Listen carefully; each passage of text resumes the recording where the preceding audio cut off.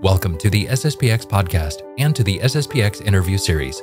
Today we're speaking with Father William MacGillivray on a topic that has gained renewed attention in recent days the question of a possibility of a heretical pope. What happens if a pope speaks heresy? This has been a topic of controversy over the course of the pontificate of Pope Francis, and it has only grown following a recent audience given by the Holy Father. So we're going to look at the statement he made during this general audience. Was it heretical? And if it was, then what does that mean? Does it mean he loses the papacy automatically?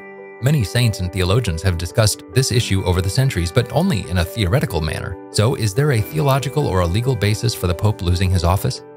This is the longest interview we've done because it is such a complex topic, but Father MacGillivray has put together a comprehensive overview so we can determine once and for all how Catholics should view the possibility of a heretical Pope. Let's join Father now. Father MacGillivray, thank you for joining us on this special episode of the SSPX podcast. Um, how are things going up in the school around this time of year, Father? Uh, very well, thanks. We're still in the middle of winter, so it was a good negative 20 degrees out this morning, Celsius, of course, um, when I went to get into the car to drive to St. Peter's and say Mass. But um, we are heading towards the end of the third quarter, and um, the finish line is in sight. Great. Great. Well, it's always good to have that last little bit set. Absolutely. Um, something to look forward to. That's right.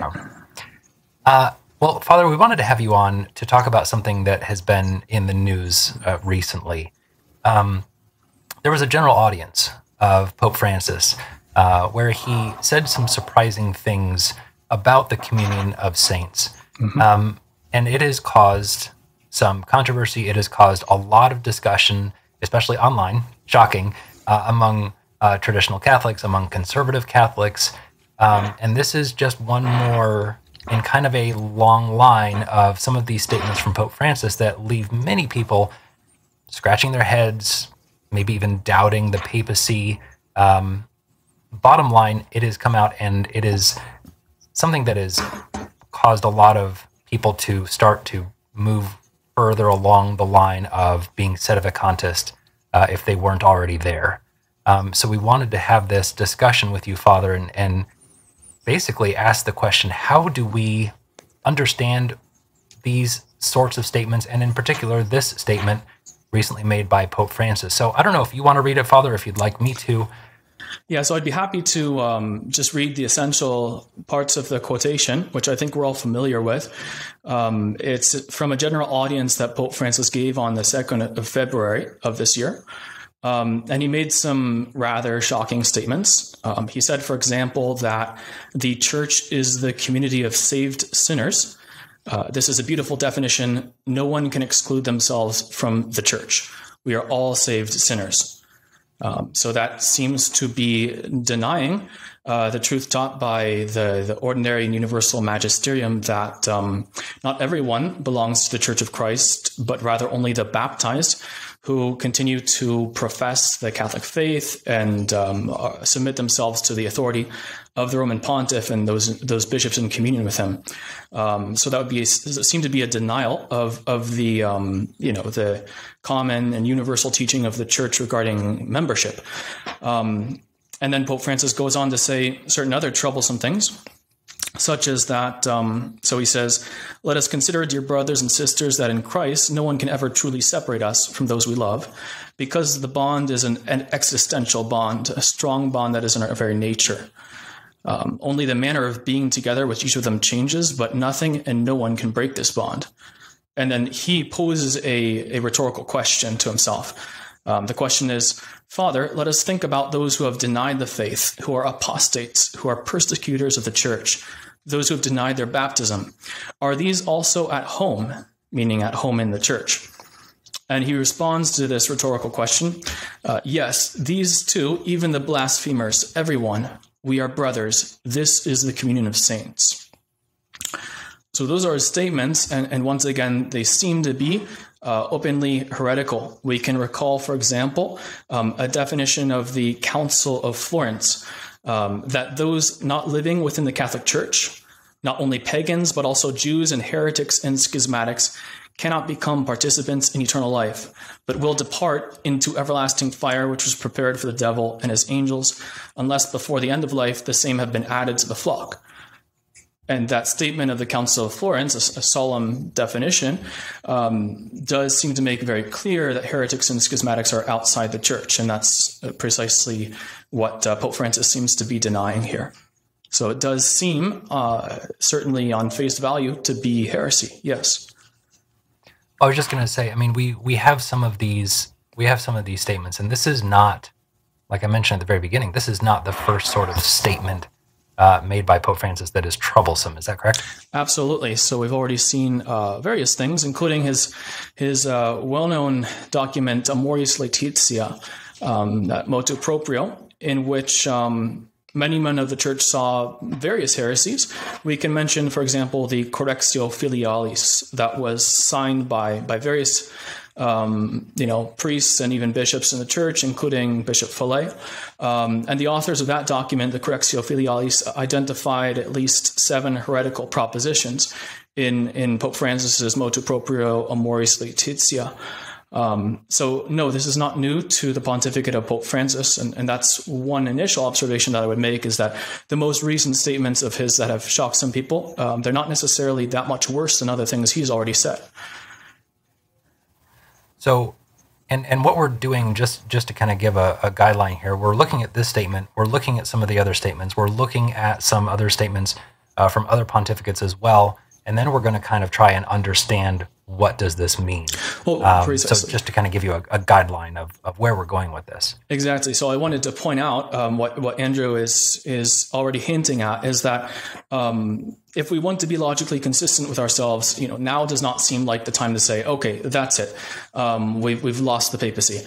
Um, because we can even look back at statements that uh, Pope Francis's predecessors have, have made, which are apparently just as, as heretical as these last ones um, even on this this topic of you know membership in the church and you know hope of, of eternal salvation, we can mention certain statements by Pope John Paul II, um, in which he seems very clearly to be attributing um, some kind of you know participation in Christ, a state of sanctifying grace, hope of eternal life, um, not only to the just or the members of the church, but to all men whatsoever from the first moment of their conception.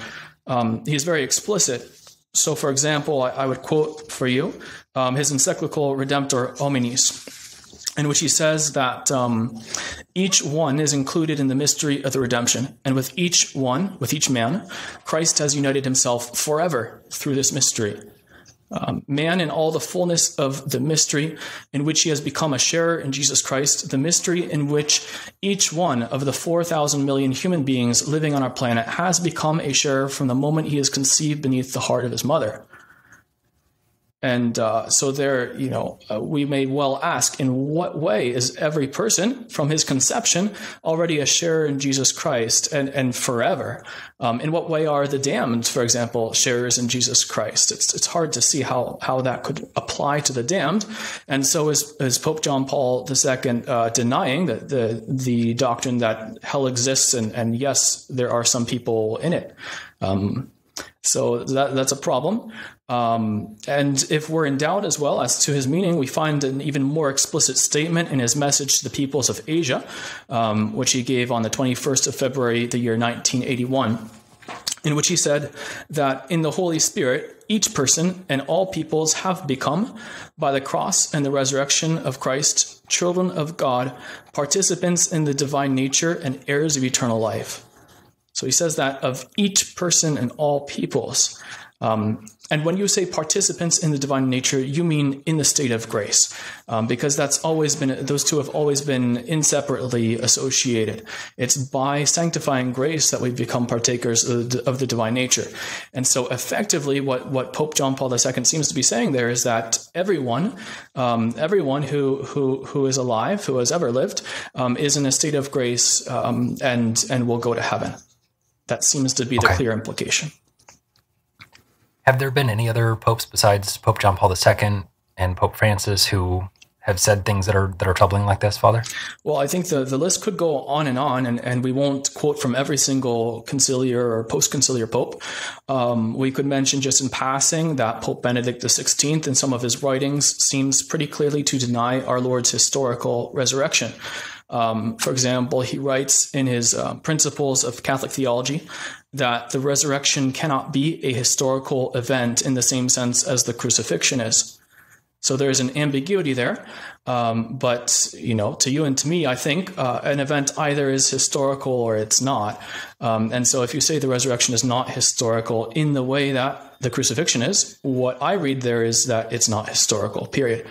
Um, and I think he, he, makes it clear as well in, in certain other statements. Uh, for example, his book Jesus of Nazareth, um, he, he, writes that uh, empirical physicality has been transcended by the resurrection. Um, Jesus appears suddenly in the midst of the disciples in a physicality that is no longer subject to the laws of space and time. Now, when you say no okay. longer subject to the laws of space and time, I say, well, outside of history, not real history. Um, so, right. you know, there Pope Benedict XVI, who's regarded as, as, you know, the most conservative and doctrinally sound of all the popes since Vatican II, there he seems quite clearly, and, and on more than one occasion, to be denying the historicity of our Lord's resurrection. Um, so, so the bottom line here is that I don't think that we can consistently um, or coherently single out Pope Francis alone and say he's the problem. The others, his predecessors, were okay. No, that's not true. So it, it what we're doing today, Father, is is looking at this from a from the stance of it seems to be that many people are looking at these statements and saying there's no other option other than the Pope is a heretic. Um, there is no Pope. We are in a period of sede vacante, meaning the seat is empty. There is no Pope because as soon as the Pope is saying this stuff, it's heretical. He cannot be the Pope anymore. Um, and, and what that does is it does solve a problem. And it solves the problem, meaning it makes it so that we don't have to be scandalized by these very concerning statements from the papacy, whether from John Paul II, Benedict XVI, or Pope Francis.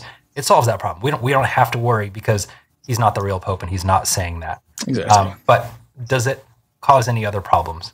Well, for sure. Um, so what follows immediately from this, if we apply um, this kind of principle not only to Pope Francis, which is what I might call jokingly a kind of micro sedevacantism. So sedevacantism applied, you know, to one pope in isolation.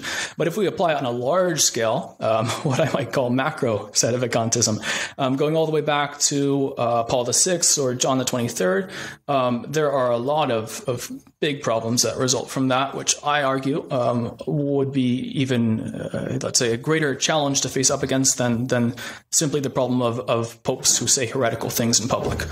Um, okay. So you know we can immediately in, infer a number of things, which which we can go through and prove from certain magisterial texts.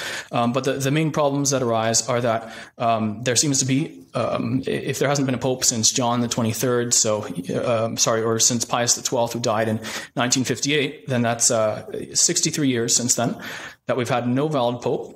And what would follow would be a, a loss or interruption in what we call apostolic succession. We'll get into that. Um, and this would lead to the total disappearance of the visible hierarchy and the living magisterium. Um, and these things are essential to the constitution of the church that Jesus Christ, our Lord, founded. Um, and, and so there's no question that those consequences are, are inadmissible. As Catholics, we can't, we can't say that. Father, what do you mean by the living magisterium, and why is that so important?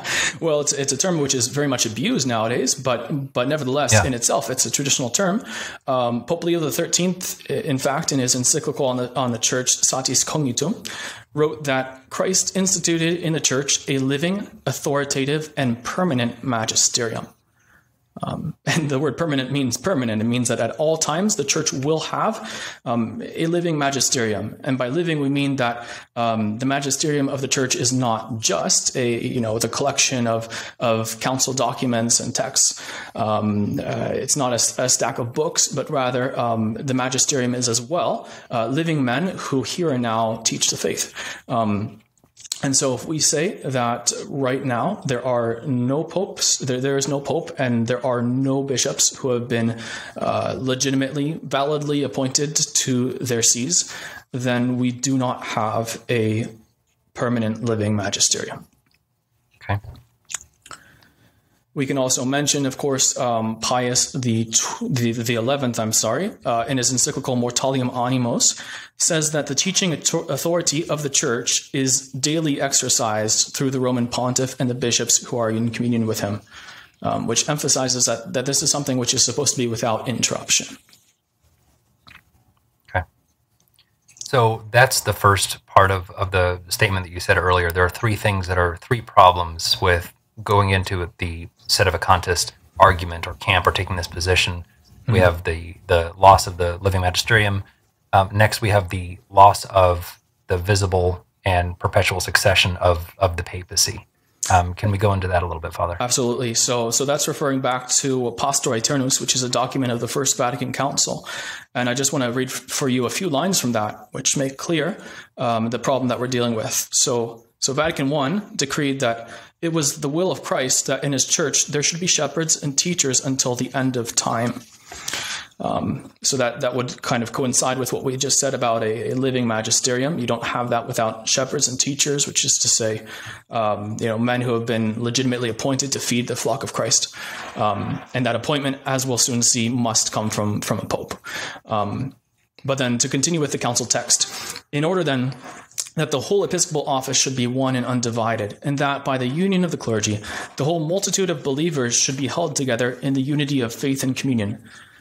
Our Lord Jesus Christ set blessed Peter over the rest of the apostles and instituted in him the permanent principle of both unities, meaning the unity of faith and communion, and their visible foundation. So Pope Peter and, and then, or sorry, St. Peter and his successors, the popes, are the permanent principle of the church's twofold unity and, and their visible foundation. Um, and there's a canon that follows this. The canon reads If anyone says that it is not by the institution of Christ the Lord himself, that is to say, by divine law, that blessed Peter should have perpetual successors in the primacy over the whole church, or that the Roman pontiff is not the successor of blessed Peter in his primacy, let him be anathema. So immediately we're confronted by, by several problems here. Um, first of all, how is the papacy the visible foundation of the church's unity, as, as we read in the text just quoted, um, if the papacy can disappear without anyone realizing it? And this would certainly be the case if we if we bring our sedevacantist theory to apply all the way back to John the 23rd. Um, since after all, um, so so here I'm following um, what the authors of the book Sedevacantism, a false solution to real problem, um, priests of our Italian district, they they wrote. Um, they claim that the first public declaration of a set of sedevacantist kind was that of the Mexican Jesuit Joaquin Sáenz y Arriaga, um, who in 1973 published a work entitled Sedevacante. Um, so, in other words, from the death of Pius XII uh, in 1958 all the way to 1973, which is a span of 15 years, the entire church publicly adhered to a false head to John the 23rd, Paul the 6th. Um, so, so that, that seems to be absurd. Uh, we can no longer call the papacy the visible foundation of the church's unity if the pope can cease to be pope and nobody realizes. That's not a visible foundation. Right. And then the other obvious problem is how can we say that Peter has perpetual successors if there's been an interregnum of more than 30 years with no validly elected pope? Um, that that's a real problem as well. In history, sure. there have been some um, periods of sede vacante that have lasted, you know, two or maybe three years at the most, um, and and that's conceivable. But 63 years just just it doesn't um, jive well with the idea of perpetual successors. All right. So that's the that's the second problem mm-hmm. with um, sedevacantism, and the last one that we're going to look at is uh, apostolic su- succession. Um, exactly. If there is a sedevacante, there's basically no apostolic succession. Is that true? That's right, um, and this flows from the the fact that um, as Pope Pius XII taught in his encyclical Ad Sinarum Gentem, um, the power of jurisdiction uh, which is conferred upon the supreme pontiff directly by divine right, flows to the bishops by the same right, but only through the successor of St. Peter. So, in other words, uh, bishops, um, the bishops who are appointed over dioceses um, are appointed by the Pope and receive their jurisdiction over their diocese from the Pope. And uh, this is the meaning of apostolic succession is that, well, the Pope succeeds to uh, St. Peter in his office of, of the supreme pastor, shepherd of the church. Um, but then the bishops, the residential bishops who, who govern dioceses, succeed to the College of the Apostles.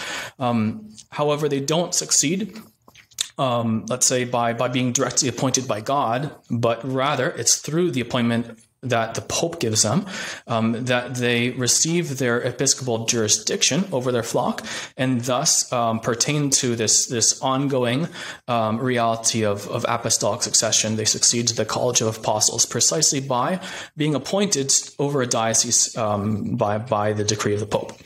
So what happens is if you don't have, um, let's say, one valid pope in a, in a whole succession of popes, uh, you you will still have probably some bishops who received their jurisdiction from the previous pope, and um, so you know one one vacancy of the throne of Saint Peter um, may not of itself extinguish apostolic succession entirely, but once you have a whole series of anti popes with no real pope, um, then all of the appointments of new residential bishops are invalid. Those bishops do not receive jurisdiction over their diocese, and so eventually you have no validly appointed residential bishops, no diocesan bishops who actually have true authority or jurisdiction over their flock and thus the, the entire visible hierarchy of the church is destroyed and apostolic succession is broken.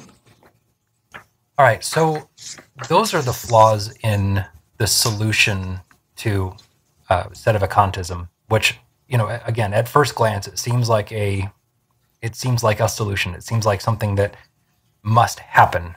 Um, let's, I guess, take a look back or go back to the beginning of, of this episode, Father, and we're talking about some of these statements um, the one just recently from Pope Francis, but then you know other statements.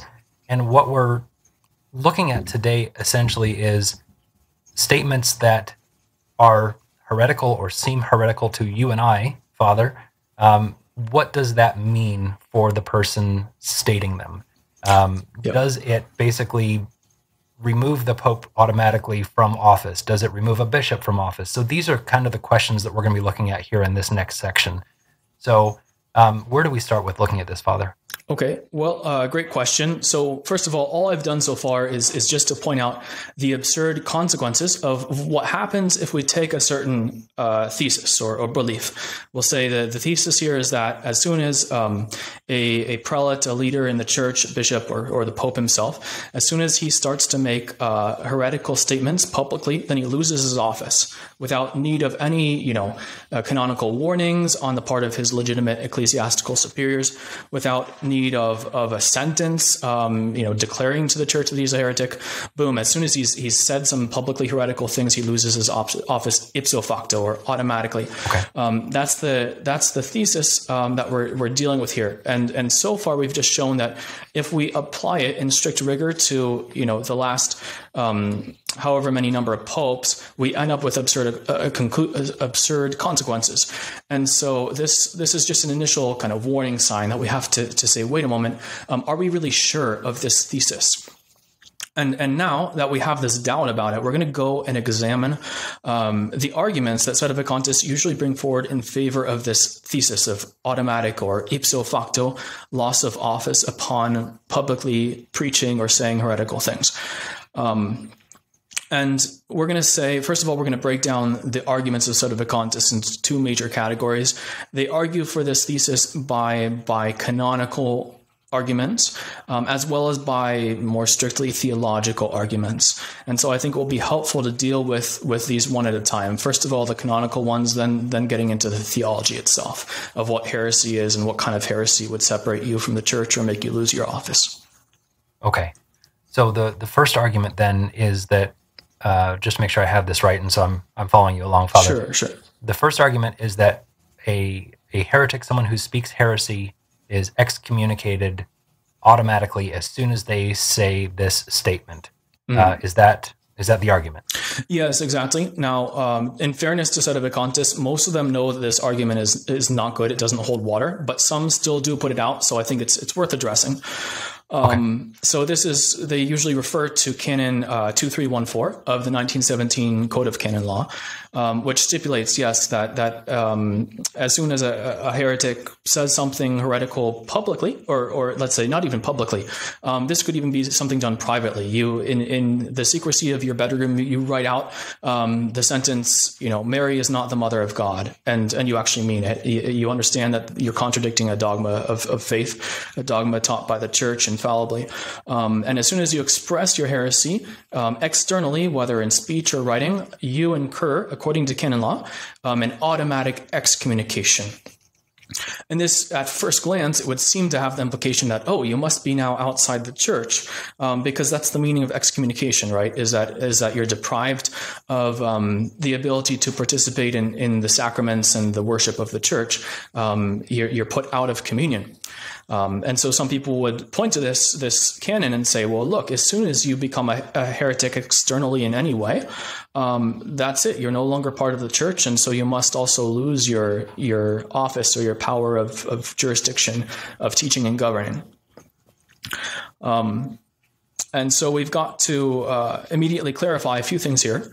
Um, the first is that theologians commonly teach that excommunication puts a person outside the body of the church only after he has been denounced by name as someone to be avoided. This is what we call in, in the 1917 Code um, of Canon Law an excommunicatus vitandus, someone who has been excommunicated and, and declared by name um, the, there's been a, a, statement issued by competent authorities saying um, this person is is a heretic and all must avoid him. Um, or, or even if it's for some other reason. The point being is that um, for an excommunication to actually put you out, outside the church, you have to be indicated by name. And there has to be this command avoid this person because he's no longer a member of the church and he'll corrupt you if you associate with him. Um, okay. So, not every excommunication puts you outside the body of the church. Um, and this is made abundantly clear as well by Canon 2264, which speaks of acts of jurisdiction that are carried out by an excommunicated person. And this canon says um, that these acts of jurisdiction continue to be valid, even though the person has been excommunicated, for as long as uh, there hasn't yet been a condemnatory or declaratory sentence passed against him. Um, as long as sentence has not been pronounced by competent authority, his acts of jurisdiction continue to be valid. Um, finally, uh, a last point here is that we can, we can point out that this argument that we've just given ignores what immediately follows in, in the same canon that it appeals to. So this is canon 2314, um, which deals with the, the, the, penalties incurred by heretics and schismatics. And um, immediately, so uh, I'll just read to you the canon, these first two points. So, so this is Canon 2314, and it says, All apostates from the Christian faith and each and every heretic or schismatic, number one, incur ipso facto excommunication. That's what we've just discussed.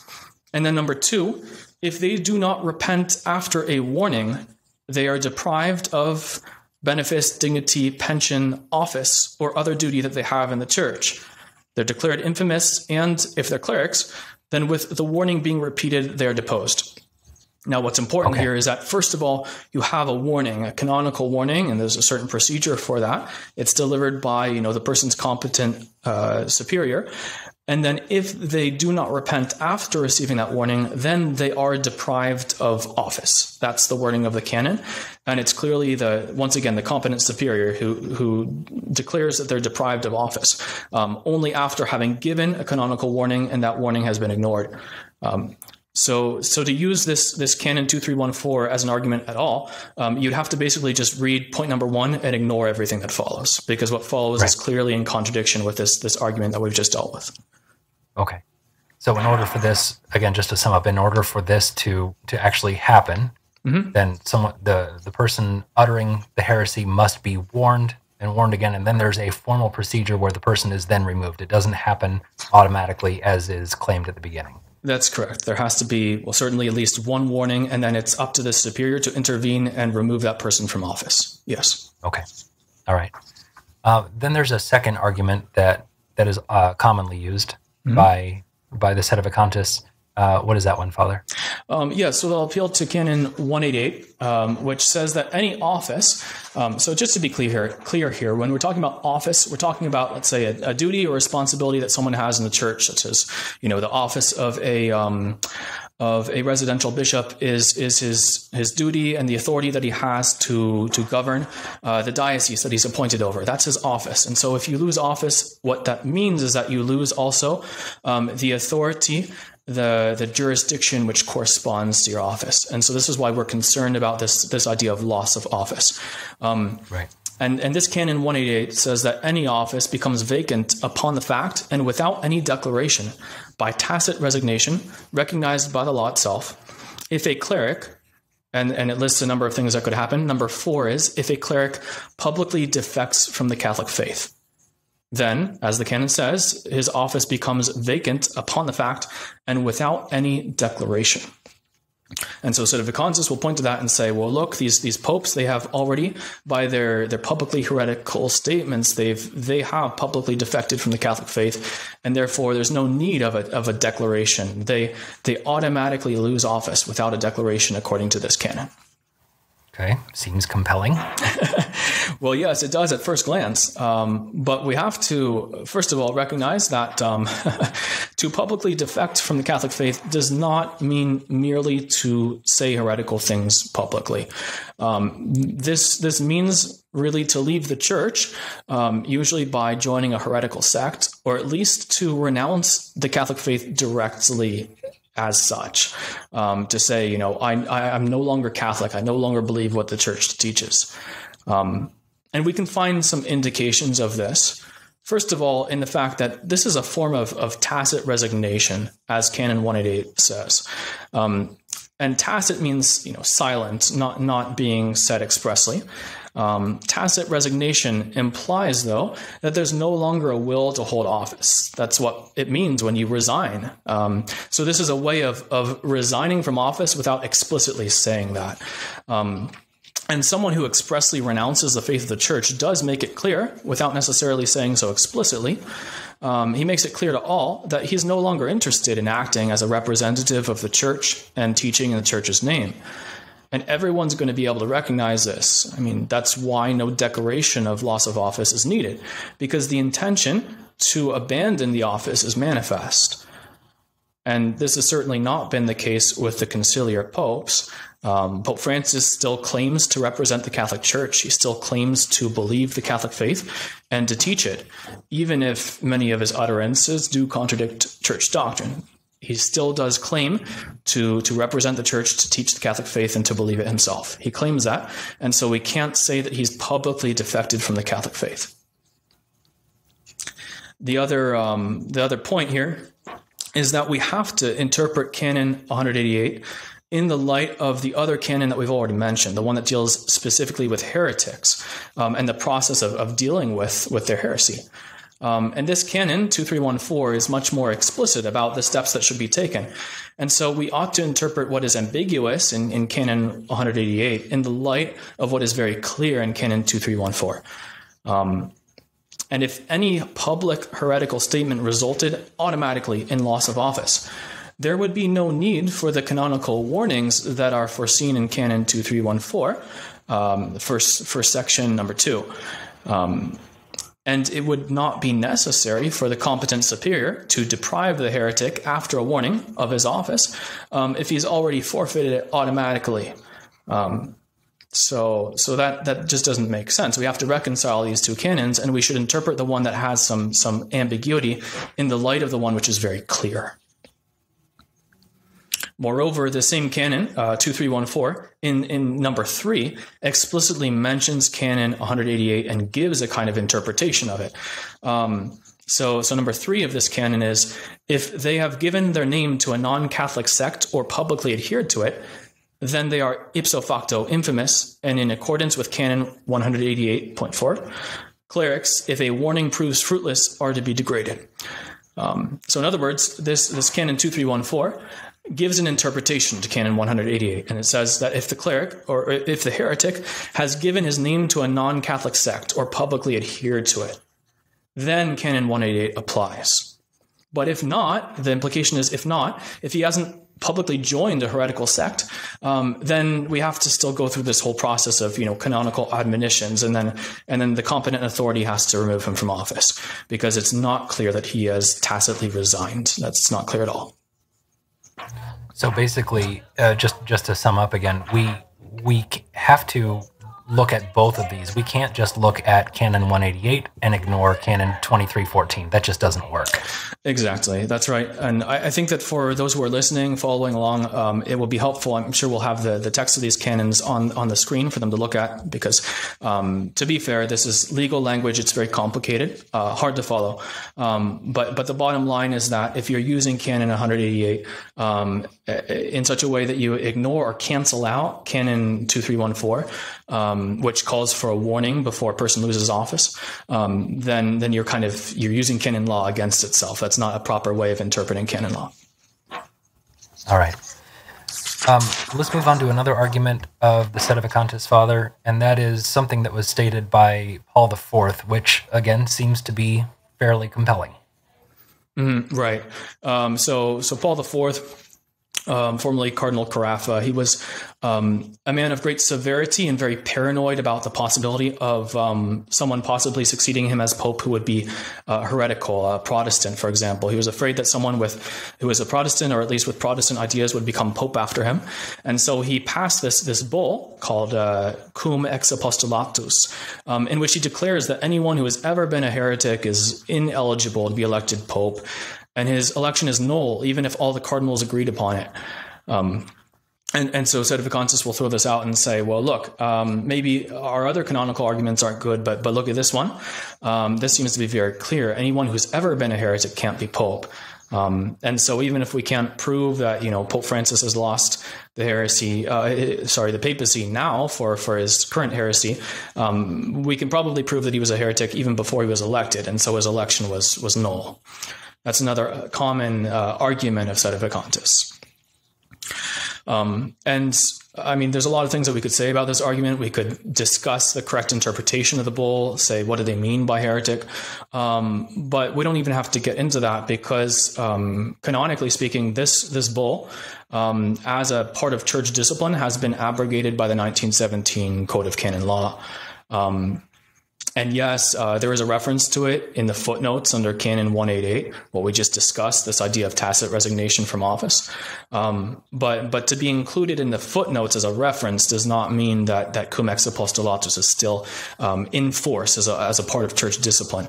Um, you need more than just to be you know mentioned in the footnotes. Um, so so this this legislation, this historical legislation, um, has been abrogated. And so, on the disciplinary level, it's no longer a valid argument if it ever was.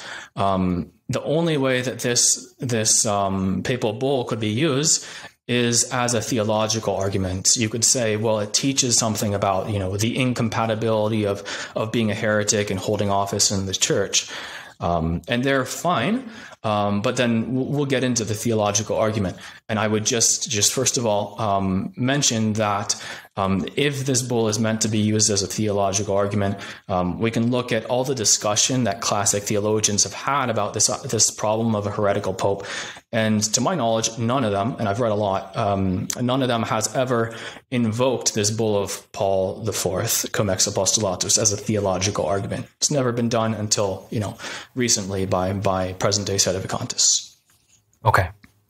So this is these are the three canonical arguments that the set of Sedevacantists will commonly use, or some.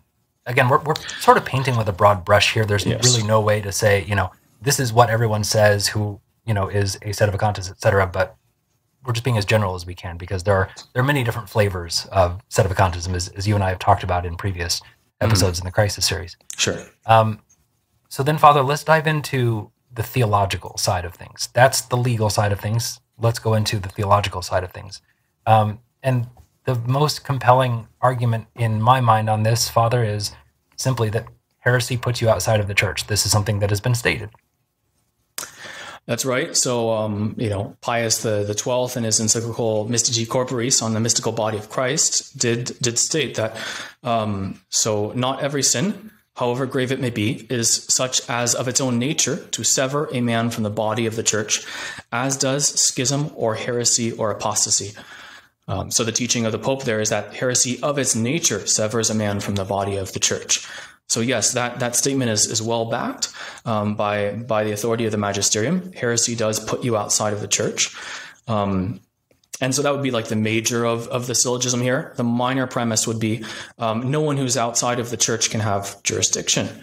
Um, and and this is clear enough as well. Um, uh, commonly, the, the one who's quoted here is Leo XIII, who says in Satis Cognitum that it is absurd to imagine that he is, who is outside can command in the church.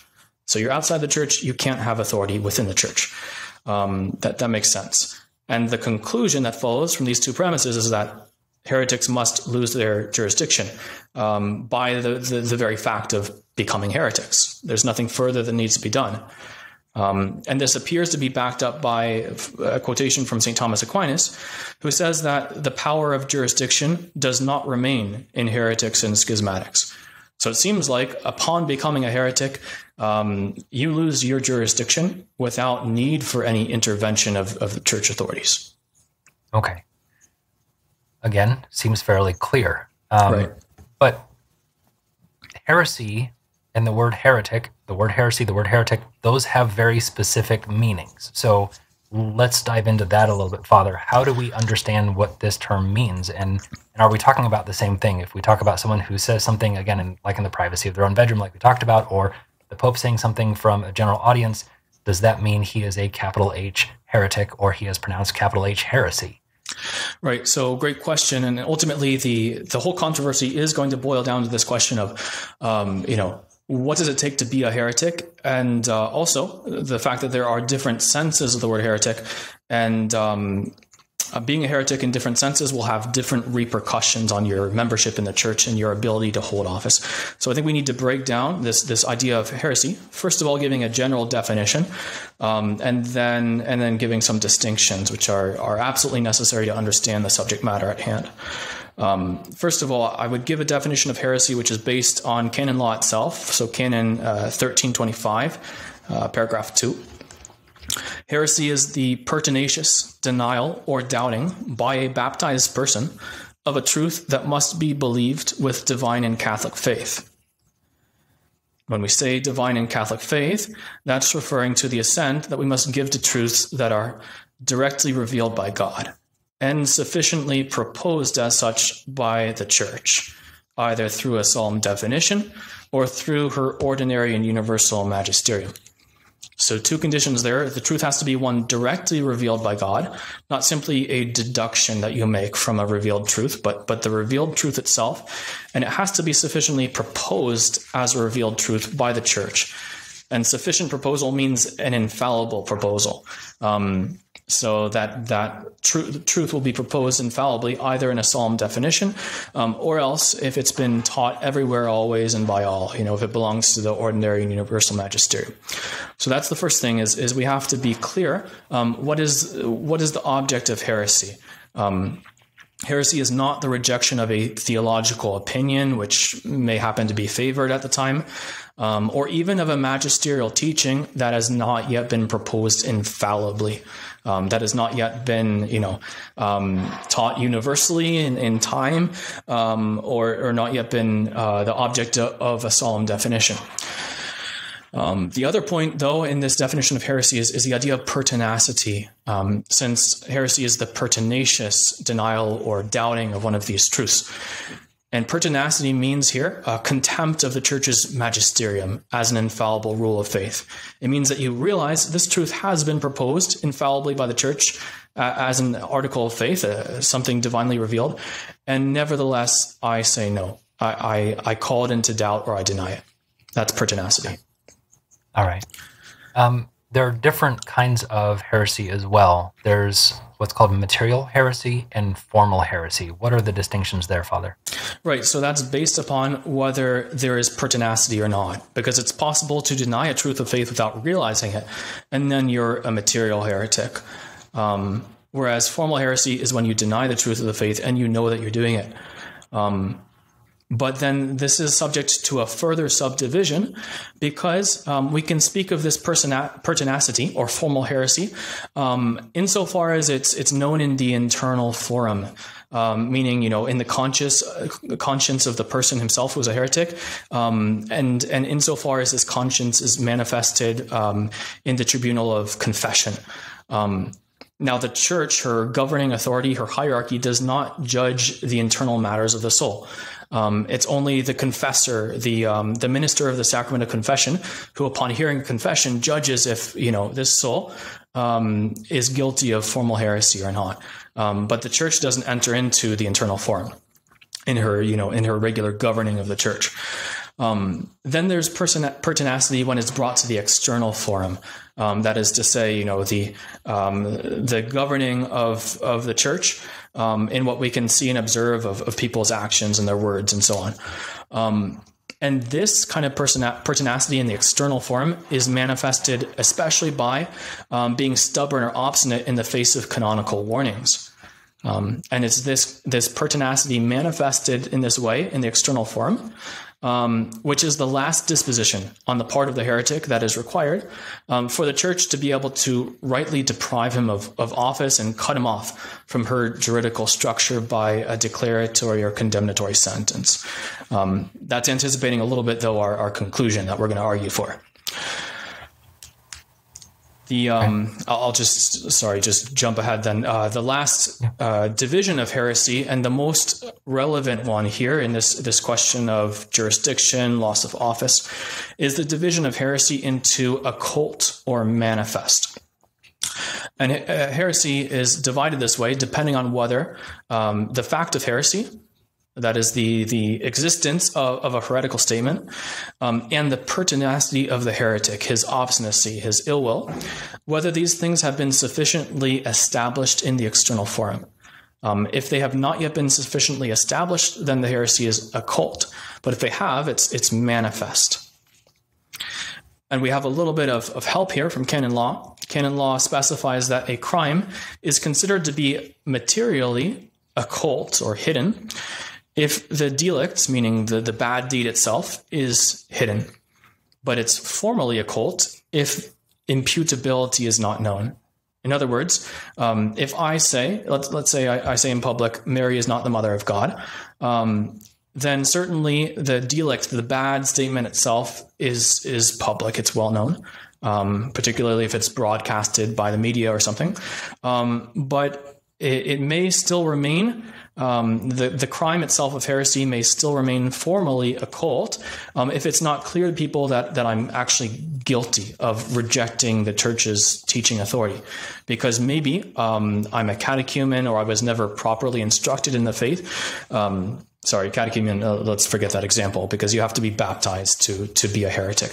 Um, sure. But, but let's say I've never been properly formed in the faith, and so I don't realize that I'm contradicting church teaching um, then then in fact I don't have that that formal um, heresy or I don't have pertinacity. Um, and so it's possible for the fact of a heretical statement to be well known. Um, that's that's public or even manifest, um, but the the culpability, the imputability of the crime may still be hidden. And much of the controversy um, that we have with Sedevacantists surrounds um, this question of what conditions are required for the crime of heresy to be manifest, not only materially as to the fact itself of an objectively heretical statement, but formally as to its imputability in the external forum. Okay. So, so bottom line, we don't.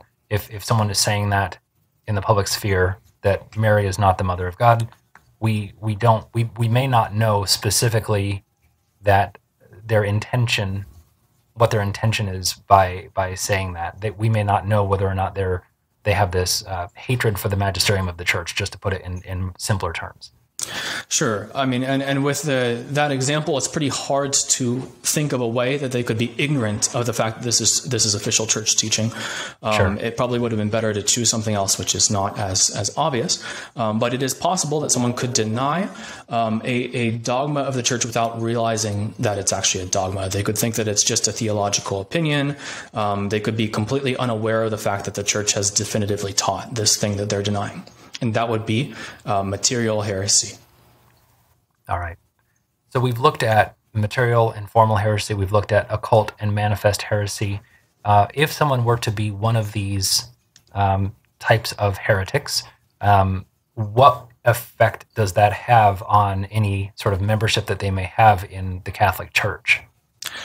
Yes, good question. Well, um, what theologians normally talk about here is is the distinction between occult or secret heretics and then manifest ones, um, which is what we were just discussing. Um, and while it's true that occult heresy does put you outside of the church in some sense, um, you know, we, we gather that from the words of Pius IX in his bull Ineffabilis Deus when he's defining the Immaculate Conception. He says, If anyone dares to think otherwise than has been defined by us, let him know and understand that he's, he's condemned by his own judgment, he has suffered shipwreck in the faith, and that he is separated from the unity of the church. Um, so that's even if you just think something contrary to what you know has been defined by the church. You are in some sense separated from the unity of the church.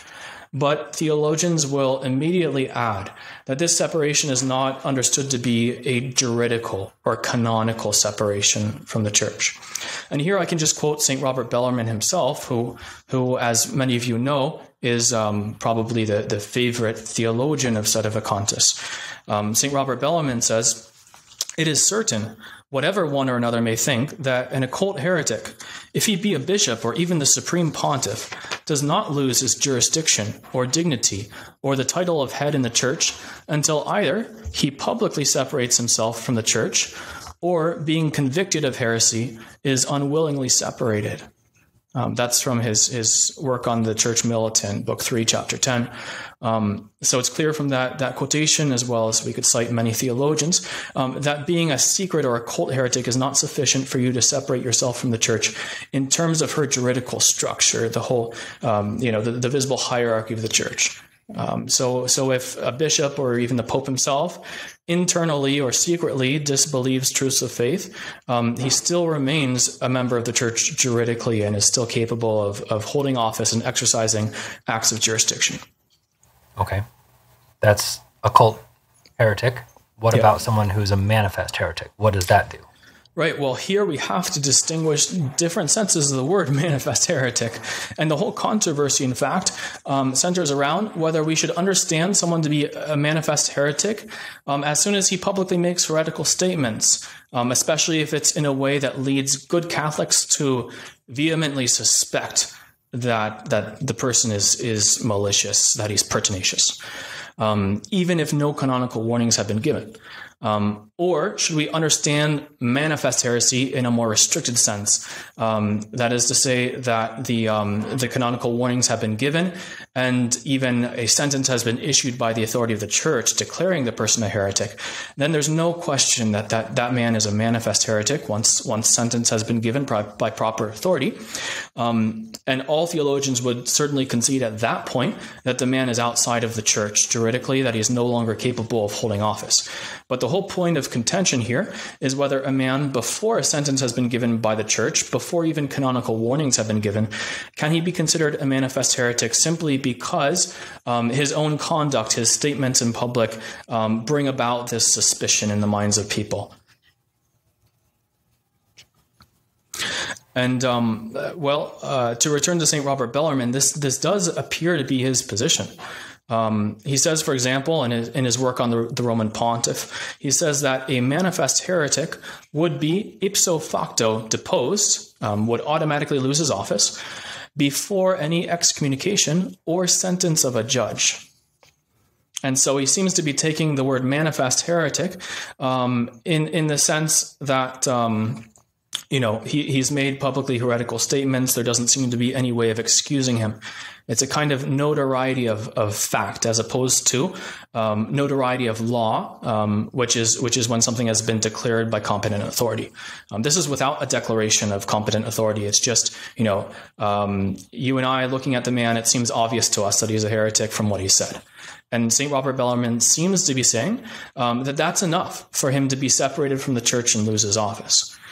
And we can find, you know, the same thing repeated um, in, by many other theologians. Some of them even canonized saints, St. Alphonsus de Liguori, St. Francis de Sales. Um, I would point also to the Catholic Encyclopedia, um, which summarizes this position by saying, were a pope to become a public heretic, that is, if he were publicly and officially to teach some doctrine clearly opposed to what has been defined as de fide catholica, um, so of Catholic faith, many theologians hold that no formal sentence of deposition would be required, as by becoming a public heretic, the Pope would, ipso facto, cease to be Pope.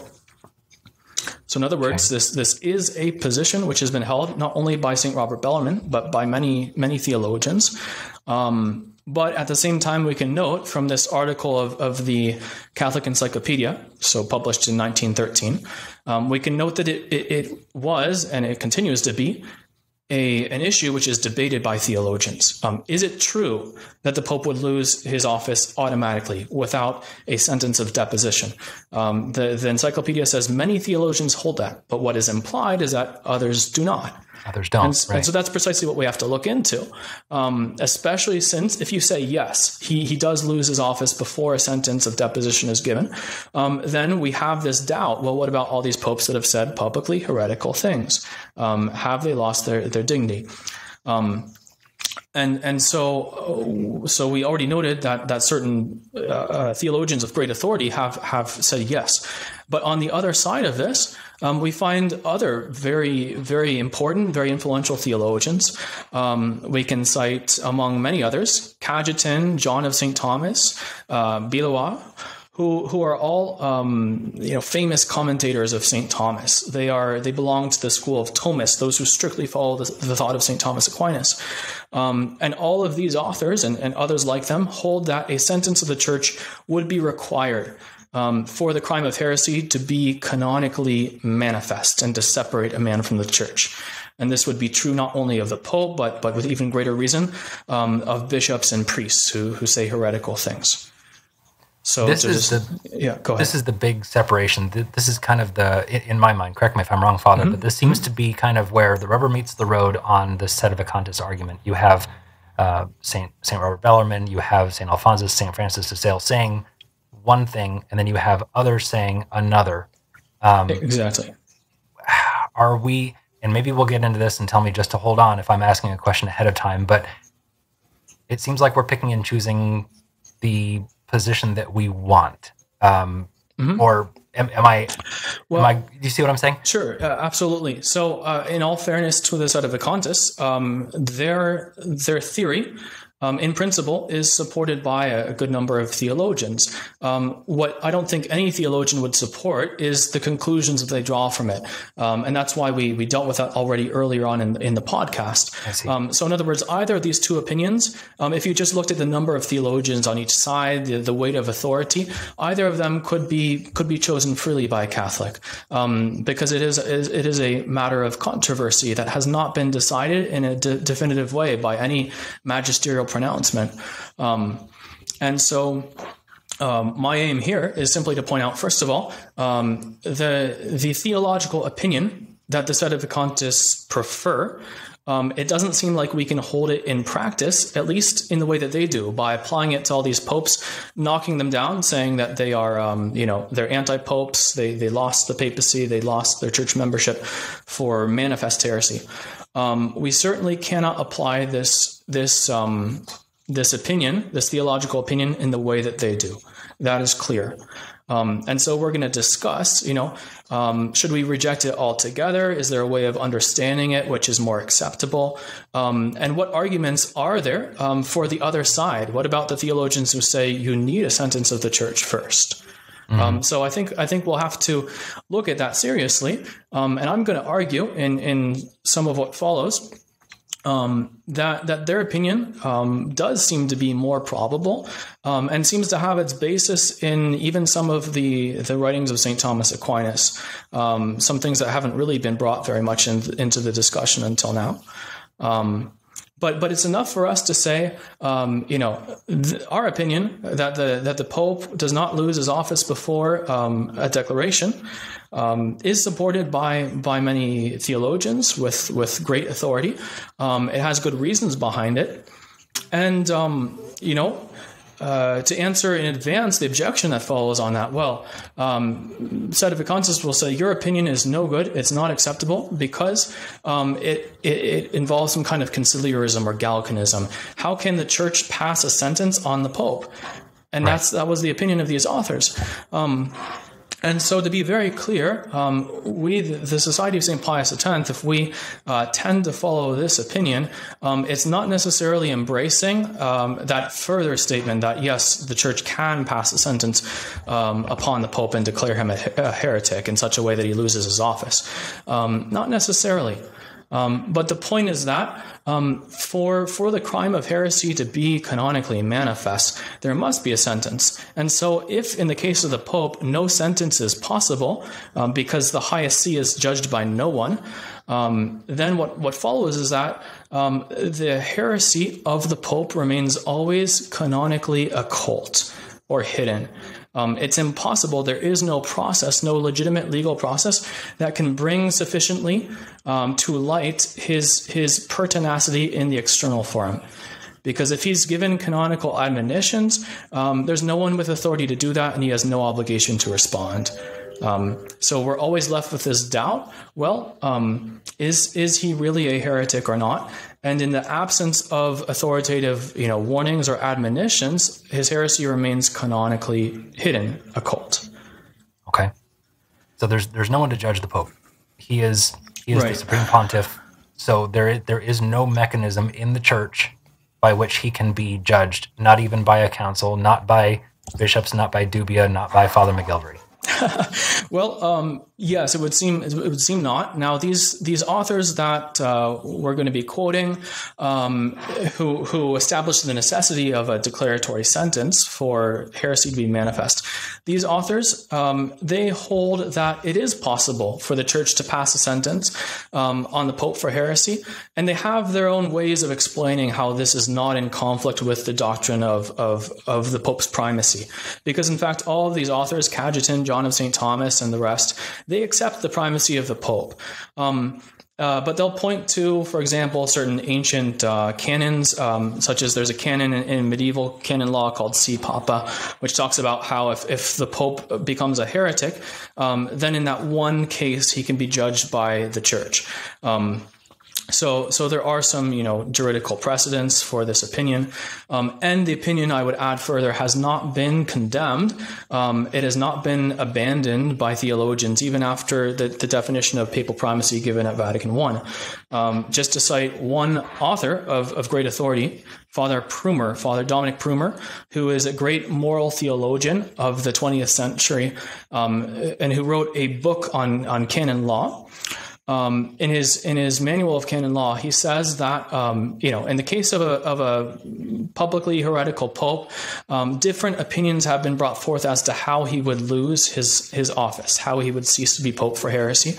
Um, and Prümmer cites both Bellarmine, whose opinion we're going to discuss, and and and then also Cajetan, who's representing this other opinion that you need a, a sentence and that a sentence could be passed on the pope. And Prümmer uh, continues by saying that, uh, in fact, none of these opinions surpass the limits of probability. In other words, it's none of these is, is certain, um, and and they still are you know valid opinions. Um, if the opinion of Cajetan were contrary to the definitions of Vatican I, were, were a denial of papal primacy, if that were clear, um, then Prümmer, who's writing well after Vatican I, could not give any probability to that opinion. But the fact is that he and other authors as well have continued to uphold that this is this is an acceptable opinion. Even the Catholic Encyclopedia that I quoted for you, its article on infallibility, which which touches on this matter tangentially, uh, the Catholic Encyclopedia says many authors think that um, the Pope would lose his, his office ipso facto before a sentence of, of deposition. Um, but the implication is that there are others, even well after Vatican I, who still continue to say, nope, a sentence of deposition is necessary, and even, even they, they hold that it's possible. For us, we don't necessarily hold that it's possible because it's not clear how to reconcile it with Vatican I. Um, but what's important is that um, so, so what's fundamental to the, the argument of Cajetan, John of St. Thomas, and the other people that, that will quote is that without a sentence um, declaring the crime, the crime remains canonically occult, canonically hidden. And so um, that means that um, if a sentence is possible, if it's possible for the church, let's say an, an, imperfect ecumenical council, a council of bishops who come together in opposition to the pope, if it's possible for them um, to give a sentence, um, to pass a sentence of heresy on the pope, to, to declare him a heretic, um, then he loses office. Fine. But if that is impossible, if their sentence would be without any authority, without any effect, then what what uh, what results is that the pope remains the pope and he does not lose his office for making these these heretical statements. So that all makes sense what you're saying, but I am a bit concerned because it seems like we are we're taking the opinion of some theologians who are very learned, follow St. Thomas Aquinas, etc., but we are dismissing St. Robert Bellarmine. St. Robert Bellarmine is a doctor of the church. He's a canonized saint. His his opinions father have to take some weight. So I'm going to push back on you a little bit. How do you how do you just dismiss an argument that seems very well founded from St. Robert Bellarmine? Uh, great question, and this is something that you know Sedevacantists will often object to us. Precisely this, um, you know, Cajetan, John of St. Thomas, Bor, um, you know, Dominic Banez, and, and others, other theologians that you quote.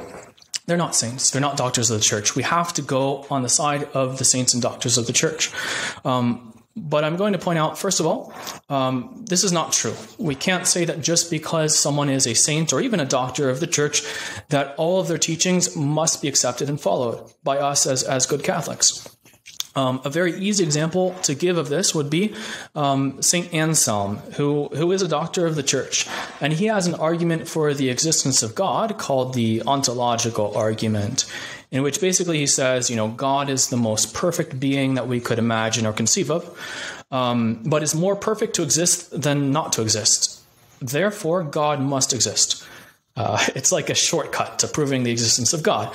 And he proposed this. He was very serious about it. He, he thought, you know, how can I prove to unbelievers the existence of God? And this is what he came up with. And he is a canonized saint. He's a doctor of the church.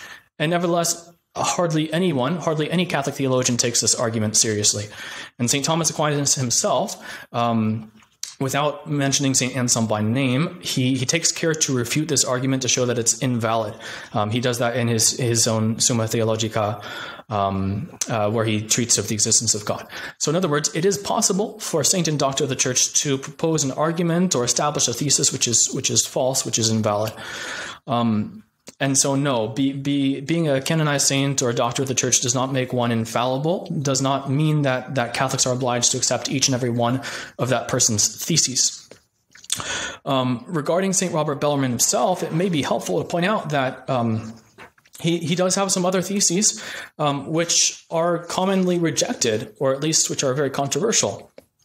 Um, regarding the holy sacrifice of the Mass, for example, St. Robert Bellarmine taught uh, what's called destruction theory, um, in which, well, uh, basically he holds that the priest's communion is an essential part of the sacrifice of the Mass because it's by the priest's communion that the victim is destroyed. And the destruction of the of the victim is is an essential part of sacrifice. Um, and well, this this theory that the priest's communion is is the act by which the victim is destroyed. It's it's by and large rejected um, by theologians. In fact, it seems even to be implicitly rejected by Pope Pius XII himself um, in his encyclical Mediator Dei, where he teaches that the essence of the sacrifice of the Mass consists in the double consecration alone that the separate consecration of the of, of the bread into the body of Christ and the and the uh, the the wine into the blood of Christ um, is already a mystical immolation or mystical destruction of the victim, and that the priest's communion is not essential. Um, it is an integral part of the sacrifice. It's required for its wholeness, but it's not part of its essence. Um, forgive me if that's a little bit abstruse, but um, this is to point out that there are other theories of, of St. Robert Bellarmine that um, were wrong and, and have been rejected by the church. Um, we can point as well to certain others, um, his adduction theory as to how the, the Blessed Sacrament, how our Lord Jesus Christ comes to be really present under the sacramental species. Um, it's it's opposed by the, the Thomists who favor instead the production or the reproduction theory, um, and their their opinion is more commonly accepted in the Church. It's more in harmony with the teachings of the Council of Trent. Um, St. Robert Bellarmine also has a, a, theory on how to reconcile grace and free will called congruism, um, which is a variant of, of Molinism. Um, and, and, so all these theories of his um, either have been you know rejected or at least they're not uh, they're not commonly embraced by, by Catholic theologians, which is just to, to highlight, to underscore the fact that just because he's a saint and doctor of the church doesn't mean he's always right. Okay. So then how do we how do we reconcile um, some of these statements? I mean, it, it seems like uh, we're casting some doubt on almost all the pronouncements of, of the saints um, by saying some of them can be wrong.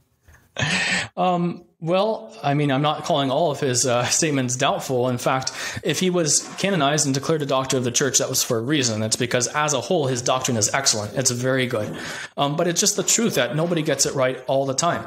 Um, and so it's not wrong. It's not, um, you know, irreverent or intellectually prideful to express disagreement with with uh, a saint or doctor of the church on a particular point, especially if you can you can find theologians of great weight who who agree with you in opposing him, and that's in fact the case here, um, because if we look at the divide in theologians uh, as to this question of manifest heresy, um, we find that it's practically all the Thomists, those who are strict followers of St. Thomas Aquinas, are on the side of, well, Cajetan and, and John of St. Thomas, these, these great Thomists, who they all hold, these followers of St. Thomas Aquinas all hold that you need a sentence of the church before a, you know, quote unquote manifest heretic loses office. Um, and, and on this topic, I would point out, well, um, St. Pius X, in his motu proprio, Doctoris Angelici, when he's talking about you know the importance of following St. Thomas Aquinas as our guide in, in all matters theological um, as well as philosophical, he says um, a very important statement. He says, if the doctrine of any writer or saint has ever been approved by us or our predecessors, it may easily be understood that it was commended to the extent that it agreed with the principles of Aquinas or was in no way opposed to them. In other words, the status of St. Thomas Aquinas as, as universal doctor of the church is so high, so exalted, um, that even if, you know, the popes have recommended, for example, St. Alphonsus de Liguori as a, a, a, safe guide in, in areas of moral theology, or St. Robert Bellarmine has been, you know, recommended especially for um, these, these questions concerning the church um, and, and the primacy of the Roman pontiff and so on even if the church has recommended certain other men, um, according to St. Pius X, this recommendation is only to the extent that their teaching is, is in agreement with the uh, with the principles of St. Thomas Aquinas, or at least doesn't oppose them. So St. Thomas holds a, a, a, priority over all the other doctors of the church.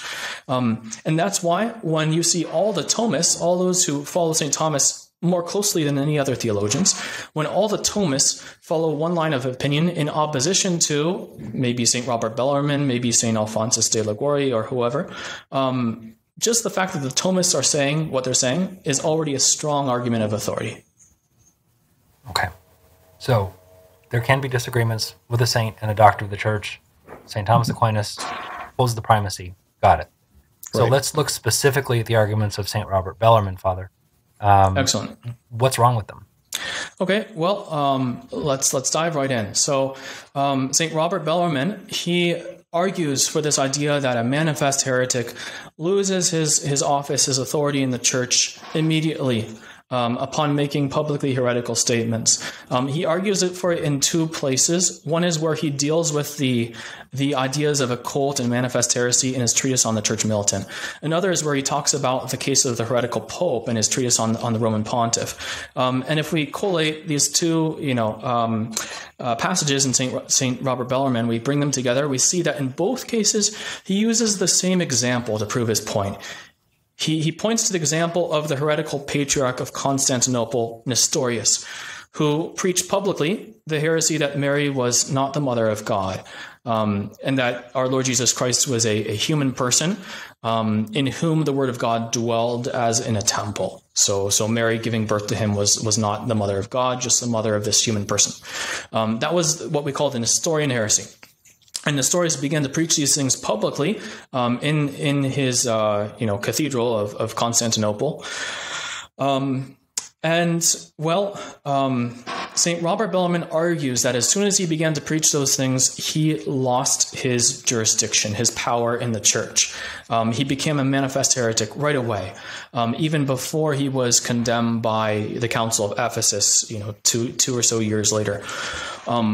And his entire basis for saying this is um, from certain decisions of Pope St. Celestine, who was the Pope at the time and um, when Pope St. Celestine heard uh, of what was going on, um, he, he heard that Nestorius had been excommunicating um, all of his clergy who were opposing him, opposing his heresy. Um, that he was, you know, punishing them all and trying to force his heresy upon the Church of Constantinople. And Pope Saint Celestine wrote um, to console these these clerics, these these clergymen who had been excommunicated by their patriarch Nestorius. He wrote to them um, saying, you know, not to take any account of these excommunications because from the moment that this man um, began to preach this heresy, he was no longer capable of throwing anyone out of the church, um, since he had already shown himself worthy to be deposed. Um, that, those are basically the words of Pope St. Celestine. And St. Robert Bellarmine, looking at this example, he says, ah, um, uh, the Pope is saying that Nestorius was unable to validly excommunicate anyone ever since he started to preach his heresy in public. Therefore, he must not have had his jurisdiction as, as patriarch. He must have lost it at the moment that he began preaching. And if we want to directly respond to this historical example, we can say, well, it actually doesn't hold water. Um, it's not the only possible explanation for why these excommunications were, were declared to be null. Um, the obvious reason, in fact, is that um, they were manifestly unjust. These these clerics who were excommunicated by Nestorius, what were they doing? They were opposing his heresy. And if you ask any canonist, um, and they'll they'll say, of course, an excommunication which is manifestly unjust has no effect. Um, it is null in itself. And so that's sufficient to, to explain this, this reply of Pope St. Celestine. You don't have to say that the man has lost his office, that he's lost his jurisdiction. You can just say that these acts of, of excommunication or other censures that he inflicted on his clergymen, um, these acts themselves were null. They were lacking in authority because of their injustice. And that's enough. You don't have to say that the man himself lost his authority as such. Um, and in fact, if we look at the historical records, we look at the correspondence between all the men involved in this, this great historical drama, we look at the Acts of the Council of, of Ephesus, um, it seems very clear that Nestorius was considered to hold his office all the way up until the time that he was deposed by a sentence of the council in the year 431. Um, you read through the Acts, and maybe we can, in fact, post some of these um, uh, the, the, texts which are relevant to this question. We can post them um, online, but um, it, it, actually appears very clear that Nestorius continued to be recognized as as patriarch, as having authority until the council deprived him of, of his authority by an official sentence, declaring him a heretic and putting him outside of the church. Interesting. Okay, so but did did Robert Bellarmine of St. Robert Bellarmine did he I don't want to say contradict himself, but did, did he give any other examples that are that seem to indicate he's kind of holding both both positions or both sides? Well, yes, exactly. You lead me right into the next point, which is that um, in fact, not only does his one example that he gives not really hold water, it's not it's not um, it's not watertight, um, but he also has other uh, passages in his writings that seem to contradict this position or, or make it less less plausible. Um, in particular, I would note that when he writes on the notes of the church, um, he brings forth example of um, certain churches, specifically the churches of Corinth and Galatia, who publicly taught heresies. And we, we read this, in fact, in the, epistle, in the epistles of St. Paul to the Corinthians and, and to the Galatians. Uh, the Corinthians denied the resurrection of the body, and the Galatians taught that the observance of the Mosaic law is necessary for salvation. And St. Paul had to write to these churches and rebuke them and say, what you're teaching is, is heresy. It's not, it's not what I have given you. Um, and in fact, if anyone preaches to you a gospel other than that which I have given, let him be anathema.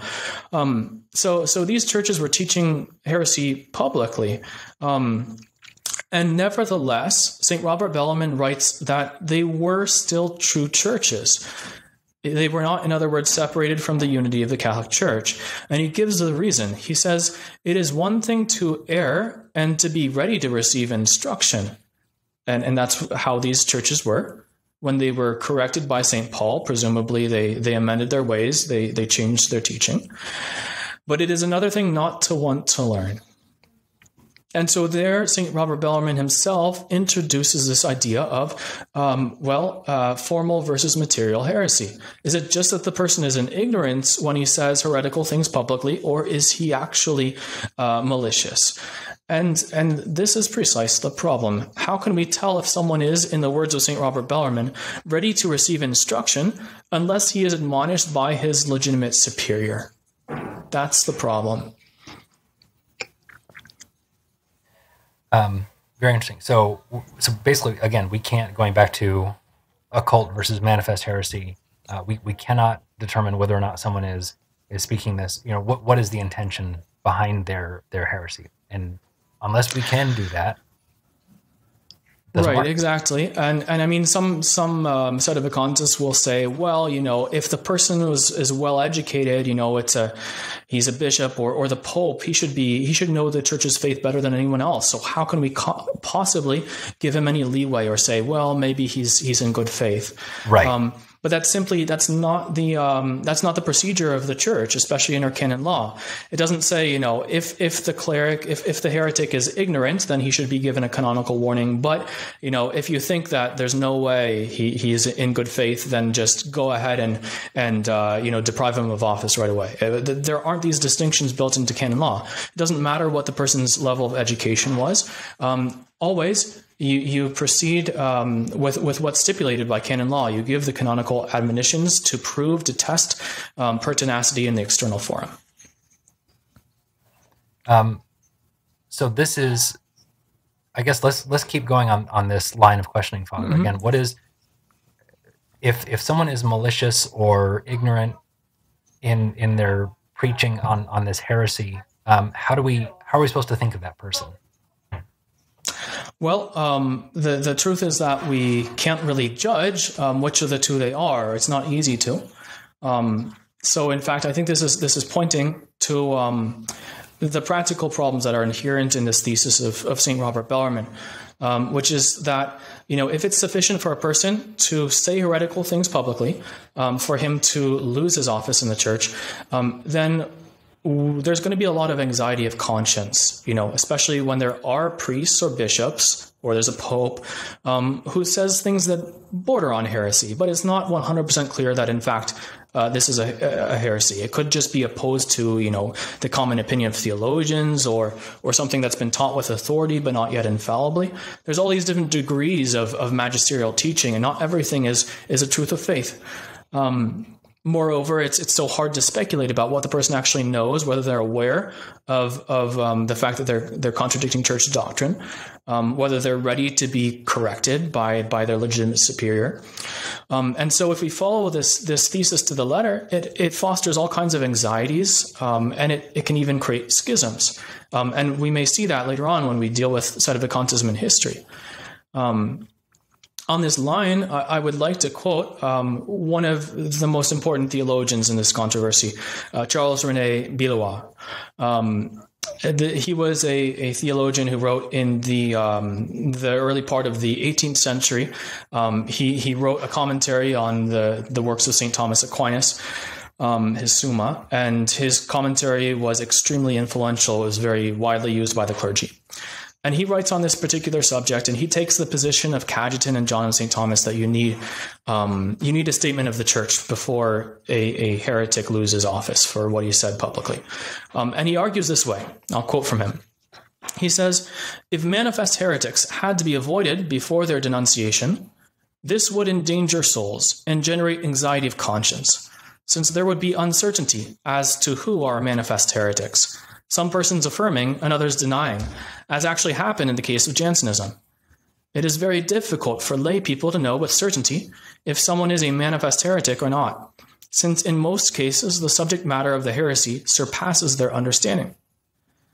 So these are the kinds of practical difficulties that this idea um, uh, results in, um, even just for you know if it's a question of your your local parish priest who you suspect of heresy, um, then you have this anxiety of conscience. Well, you know he hasn't yet no no sentence has been passed by against him. His bishop hasn't deposed him. Um, he's still the parish priest and and goes and preaches and hears confessions can I go to him for confession or not? Has he lost his jurisdiction and his membership in the church because of the heretical things that he's he said? Um, and so, in it, uh, you know, in many times in church history, this if this were true, there, there would have been a lot of confusion and, and anxiety. But even more so when it's applied to the Pope.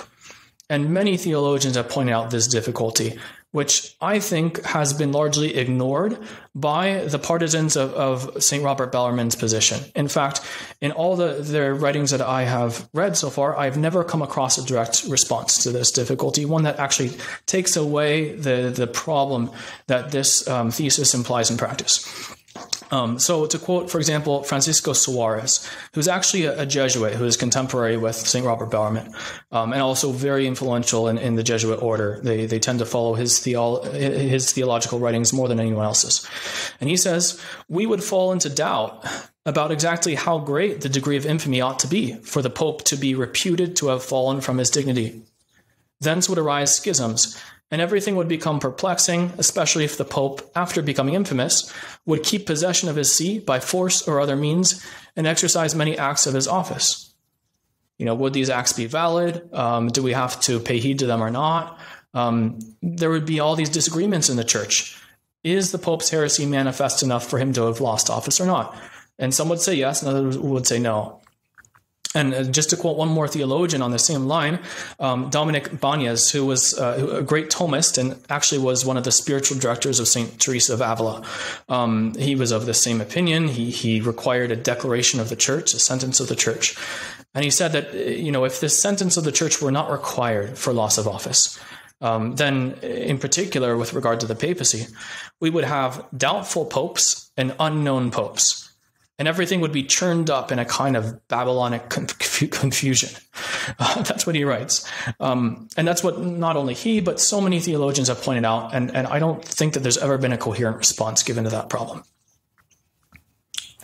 So, so the again, it's it's looking at the practical difficulties with accepting this this conclusion that someone can lose their office immediately after becoming a heretic, um, and if and if you agree with that, and again, it's a disputed it's a disputed spot in in theology. But if you hold to that, you're going to open up a whole can of worms in terms of how did the faithful see a possible heretic pastor? How did the faithful see a possible heretic pope?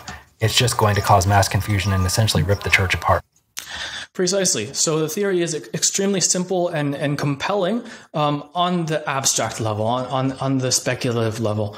Um, it seems very simple. It seems to work well. It also explains, you know, it does away with the difficulty of how could the church pass a sentence on the Pope for heresy. It, it seems to, um, it has a lot that is attractive in it. But when you apply it in practice, it's, it's a disaster. Um, and that's precisely what we've been seeing in the last 50 years with, with all of these um, various sedevacantist sects that have broken off and at, at, various times and for various reasons and fight among themselves and, and so on.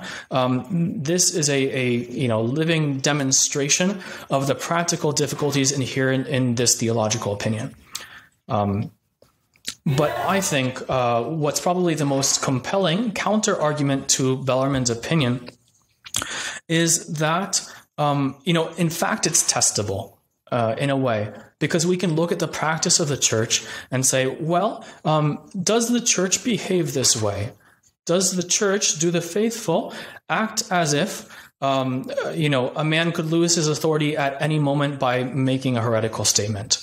Or is it the practice of the church to wait and to do, do make canonical admonitions and so on? Um, and, and to go back and, and quote once again from uh, the theologian Charles Rene Billuart, um, who we've cited before, um, he provides us a very valuable testimony as to what was the practice of the church in his era. Once again, that's that's the the earlier mid 18th century, um, and that's that's coming about one century after Saint Robert Bellarmine, who, who died, I believe, in the in the early 1600s, early 17th century. Um, so this is this is more than 100 years after Bellarmine, and so you'd think that by now, you know, these ideas have been aired. There's been a lot of controversy. Surely the church would have come to some kind of at least a, a practical resolution as to how to deal with this issue. And I think that uh, gives us a very important testimony as to how the church in practice works. Um, and what, what thesis, what, what theory is, is the one which is actually followed in practice. He says that um, the law and praxis of the church require that a heretic be denounced before he loses his jurisdiction. Our argument, he says, is confirmed by the current praxis of the entire church. No one avoids his pastor, even for the reception of the sacraments, as long as he is allowed to remain in his benefice, meaning his, his office. Even if the man is, in the judgment of all, or at least the, of the majority, a manifest Jansenist and rebellious against the definitions of the church. So, in other words, that's that's how it worked in his day, um, and that's more than hundred years after Saint Robert Bellarmine. Um, it didn't matter if someone seemed to be a, a, manifest heretic by by rebelling against the definitions of the church, by saying heretical things publicly, as long as he was tolerated by the church, um, allowed to remain in his benefice or office, then he was still considered to be a minister of the church, and the faithful could, with security of conscience, approach him for the sacraments, including those like confession that require jurisdiction. And I think this testimony is very powerful. It's not something that we can lightly ignore or brush aside. Sure, this was this was the normal practice of the church, and so you, it's it's difficult again to take the the abstract and then compare it to the to the reality of, of how the church has been practicing through the ages. It just and if those two disagree, there's a problem. Well, yes. And, and so that's why I would say that the practice of the church is, in fact, a very sure argument in favor of the opinion of, of the Thomists, of Cajetan, John of St. Thomas, and others, who say you need a sentence of the church um, before, before a person can be considered a manifest heretic in the canonical sense, before he can be considered to have lost his office and jurisdiction. That sentence is not something optional. Um, and I would, in fact, say that we can go back farther than um, Billuart or even the contemporaries of St. Robert Bellarmine, such as, you know, Cajetan, John of St. Thomas, who argued against him. We can go back to St. Thomas Aquinas himself. Let's look for just a moment at the teachings of the angelic doctor, because I think that, in fact, if we bring together a few passages of his, he gives a very clear answer to this question. And it, and it becomes very understandable that all the Thomists, all those who are close followers of St. Thomas, have taken the position that they have. So, if you'll allow me just to quote a few passages from the Summa Theologica. Um, we, we start with the article um, in the Secunda Secundae, um, question 11, article 3, whether heretics ought to be tolerated. And this is very important. So just, just listen to what he says.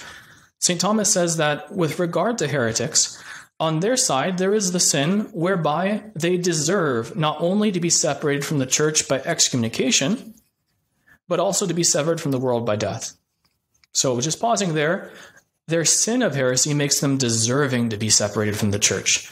It doesn't separate them automatically, it just makes them liable to separation by excommunication, is what St. Thomas says. To pick up with the quotation, on the part of the church, however, there is mercy which looks for the conversion of the wanderer. Wherefore she condemns not at once, but after the first and second admonition, as the apostle directs. After that, if he is yet stubborn, the church, no longer hoping for his conversion, looks to the salvation of others by excommunicating him and separating him from the church, and furthermore delivers him to the secular tribunal to be exterminated thereby from the world by death. Um, so that's, I think, very clear. Um, it's not right away that the heretic becomes separated from the church by his own sin, but rather it's the church who, after warning him, after being patient, eventually effects, makes the separation happen by her sentence of excommunication. Did St. Thomas have it wrong?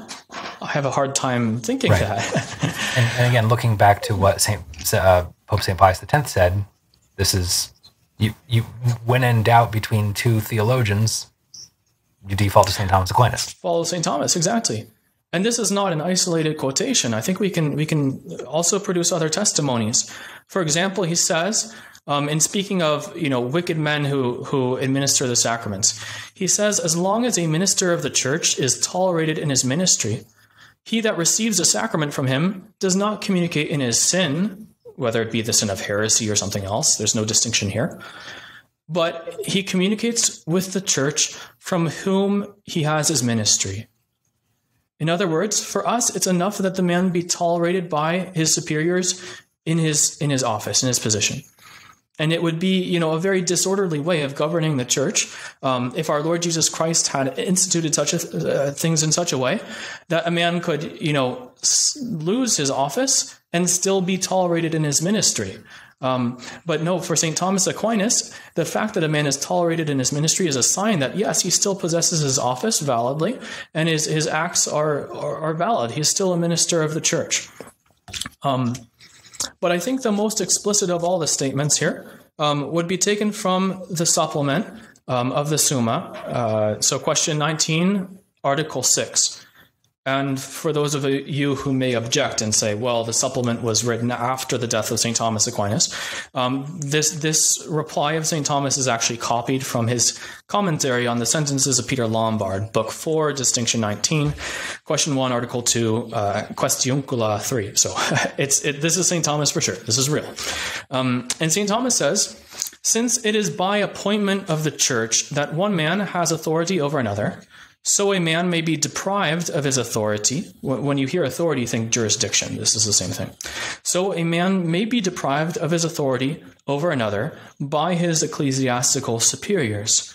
Consequently, since the church deprives heretics, schismatics, and the like uh, of jurisdiction by withdrawing their subjects from them, either altogether or in some respect, Insofar as they are thus deprived, they cannot have the use of the keys, um, which is a metaphor for this power of jurisdiction. So it's very clear there that it's the role of the church to deprive these men of, of their jurisdiction, of their authority.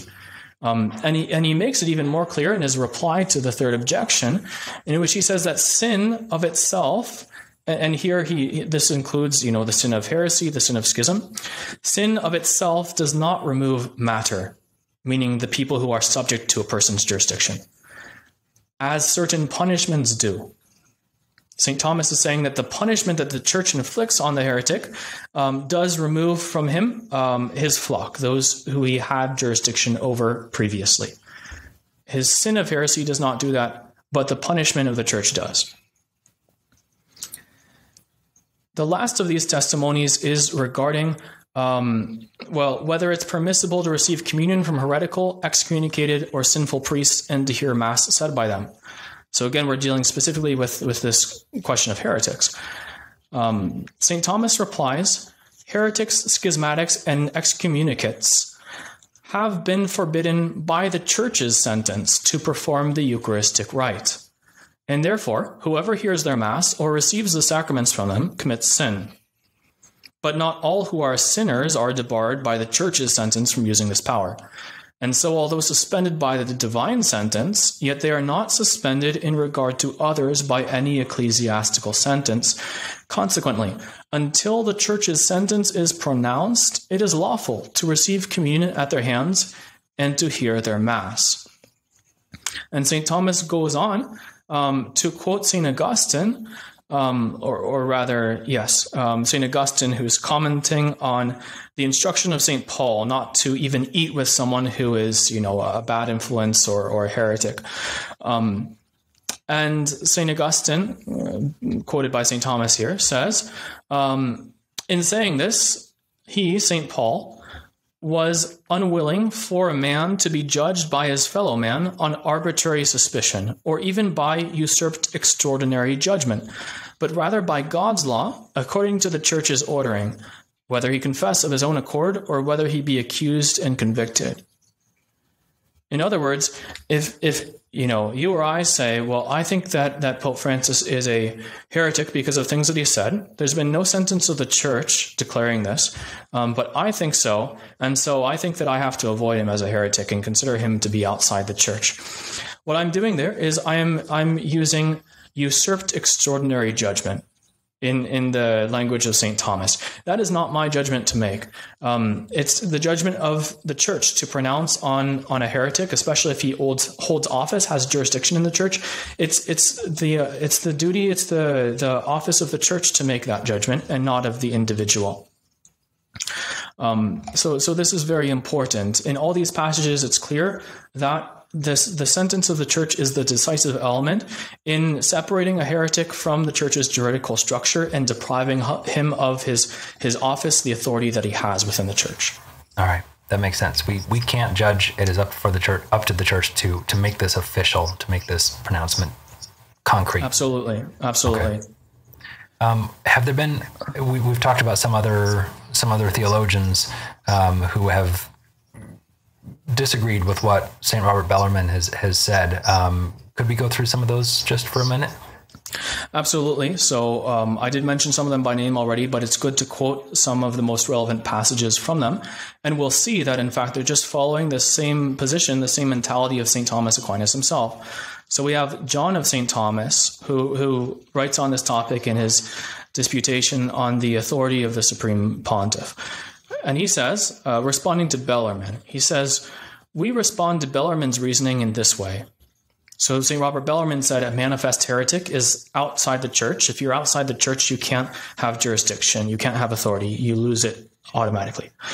Um, and he responds, one who is not a Christian, both in himself, um, that is by you know having committed the sin of heresy, and in relation to us, cannot be pope.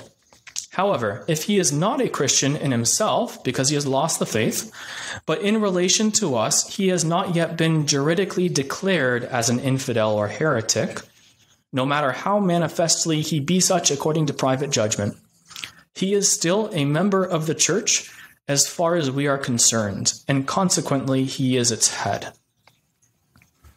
It's a very clear statement, and it's following right on um, the, the, the heels of what we just read from St. Thomas that, um, you know, um, a, a, sinner who has not yet been um, condemned by any sentence of the church, although he may be um, suspended by the divine sentence, to use the language of St. Thomas, yet he's not suspended in regard to others by any sentence of the church. And so he remains a, a minister of the church and, and can be lawfully approached for the sacraments. Um, uh, then the other quote, the other authority that I want to, to quote from is, is Father Paul Laymann, um, who wrote a very important um, uh, basically textbook of moral theology in the the 17th uh, century. So this would have been around the, the same time he was contemporary with St. Robert Bellarmine and, and John of St. Thomas. And his textbook was used, or, or his, um, yes, his textbook of moral theology was used in many seminaries for the formation of the clergy. So, so his, his um, opinion is, is certainly of great authority. And he wrote that the Supreme Pontiff insofar as he is a private person, can become a heretic. And by private person, we understand insofar as he's not, you know, defining dogmas ex cathedra, because when the Pope, you know, defines something, infallibility will prevent him from erring, let alone from, from teaching heresy. But insofar as he's a private person, not defining truths infallibly, he can become a heretic. Nevertheless, as long as the Pope is tolerated by the Church and publicly recognized as the universal pastor, he really continues to possess the power of the papacy, so that all of his decrees have no less force and authority than if he were truly a believer. The reason for this is that it is expedient for the well governing of the Church, even as in any other well constituted commonwealth, that the acts of a public magistrate remain valid as long as the magistrate remains in his office and is publicly tolerated. And that once again is coinciding perfectly with what was said by St. Thomas Aquinas, where he noted that as long as a minister of the church is tolerated in his ministry, he that receives a sacrament from him, or, or who that you know considers himself to be subject to him in some way, does not communicate in his sin, but communicates with the church from whom he has his ministry.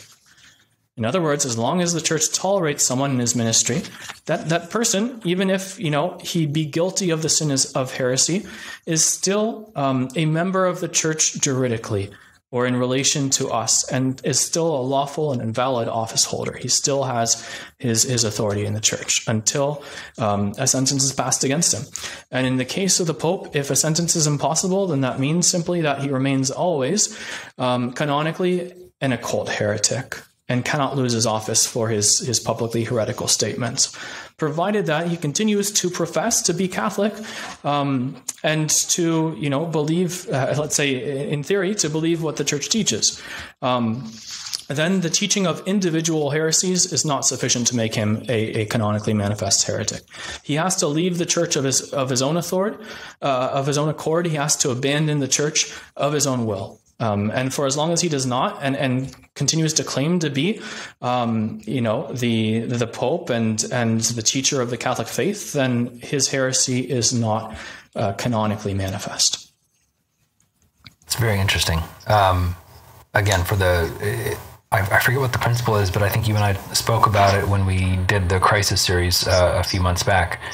That there's this principle that whoever holds it, you have to give them the benefit of the doubt that they that they hold it, and it is for the good of of the people. It is for the good of the faithful. Whether we're talking about a temporal ruler or uh, a spiritual ruler, for the good of the faithful, you have to assume that that person has that authority. Precisely, and and let's let's put it though from the perspective of, of our Lord Jesus Christ, who is establishing the church. Um, would our Lord want to establish the church in such a way that we could be deceived in this in this very damaging uh, manner? You know, if for example, um, if we are simply doing what we ought to do and, and giving the superior the the benefit of the doubt, continuing to recognize him, and in fact um, the, the church is constituted in such a way that the man has has ipso facto lost his authority. Um, the result is that the rest of the church is, is led innocently into a grave error, into recognizing a man as, as pope or, or in other cases as, you know, uh, the, the diocesan bishop or whatever, when in fact he's not. Um, and this is precisely what is so disturbing about the Sedevacantists thesis, especially as it's applied in our day, is that the, these um, Sedevacantists are claiming that the whole church practically speaking, the whole church is adhering to, is recognizing a man as her head, um, who is not, in fact, her head. And you know, if you're going to quote um, authorities such as Saint Alphonsus de Liguori um, in favor of this this thesis of ipso facto loss of office, because Saint Alphonsus also teaches the same thing, um, you can't ignore the other quotations taken from the same people regarding the validity of this universal and peaceful acceptance of a pope. It is St. Alphonsus de Liguori, as well as Cardinal Billot, who's a, who's a close follower of St. Robert Bellarmine. Um, St. Alphonsus de Liguori teaches that um, when the whole church peacefully adheres to a man as pope, that is an infallible sign of the validity of his election, of the fact that he truly is pope. Because God could not permit the whole church to adhere to an anti pope, an impostor. Um, so that's that is a clear teaching of Saint Alphonsus, Cardinal Billot, and other theologians, which is uh, either ignored or denied by by Sedevacantists. So I guess to to wrap up this section, Father, um, how how are we to see Saint Robert Bellarmine after all of this? Um, great question. Well, first of all, um, our thesis in practice um, doesn't depart too much from his own. Um, if you interpret the term manifest heretic in a strict sense. Um, and so I'm going to quote uh, Cardinal Billot, who I said is a close follower of St. Robert Bellarmine and follows him in his opinion on the topic of a heretical pope. And we're going to see that if we take the term manifest heretic or occult heretic in the proper sense, then in fact, there's not a great divergence in these opinions when they are applied in practice. Um, so, Cardinal Billot says, um, those also are occult heretics who do indeed manifest their heresy by external signs, but not by a public profession. You will easily understand that many men of our times fall into the latter category. Those, namely, who either doubt or positively disbelieve matters of faith, and do not disguise the state of their mind in the private affairs of life, but who have never expressly renounced the faith of the church, and when they are asked categorically about their religion, declare of their own accord that they are Catholics.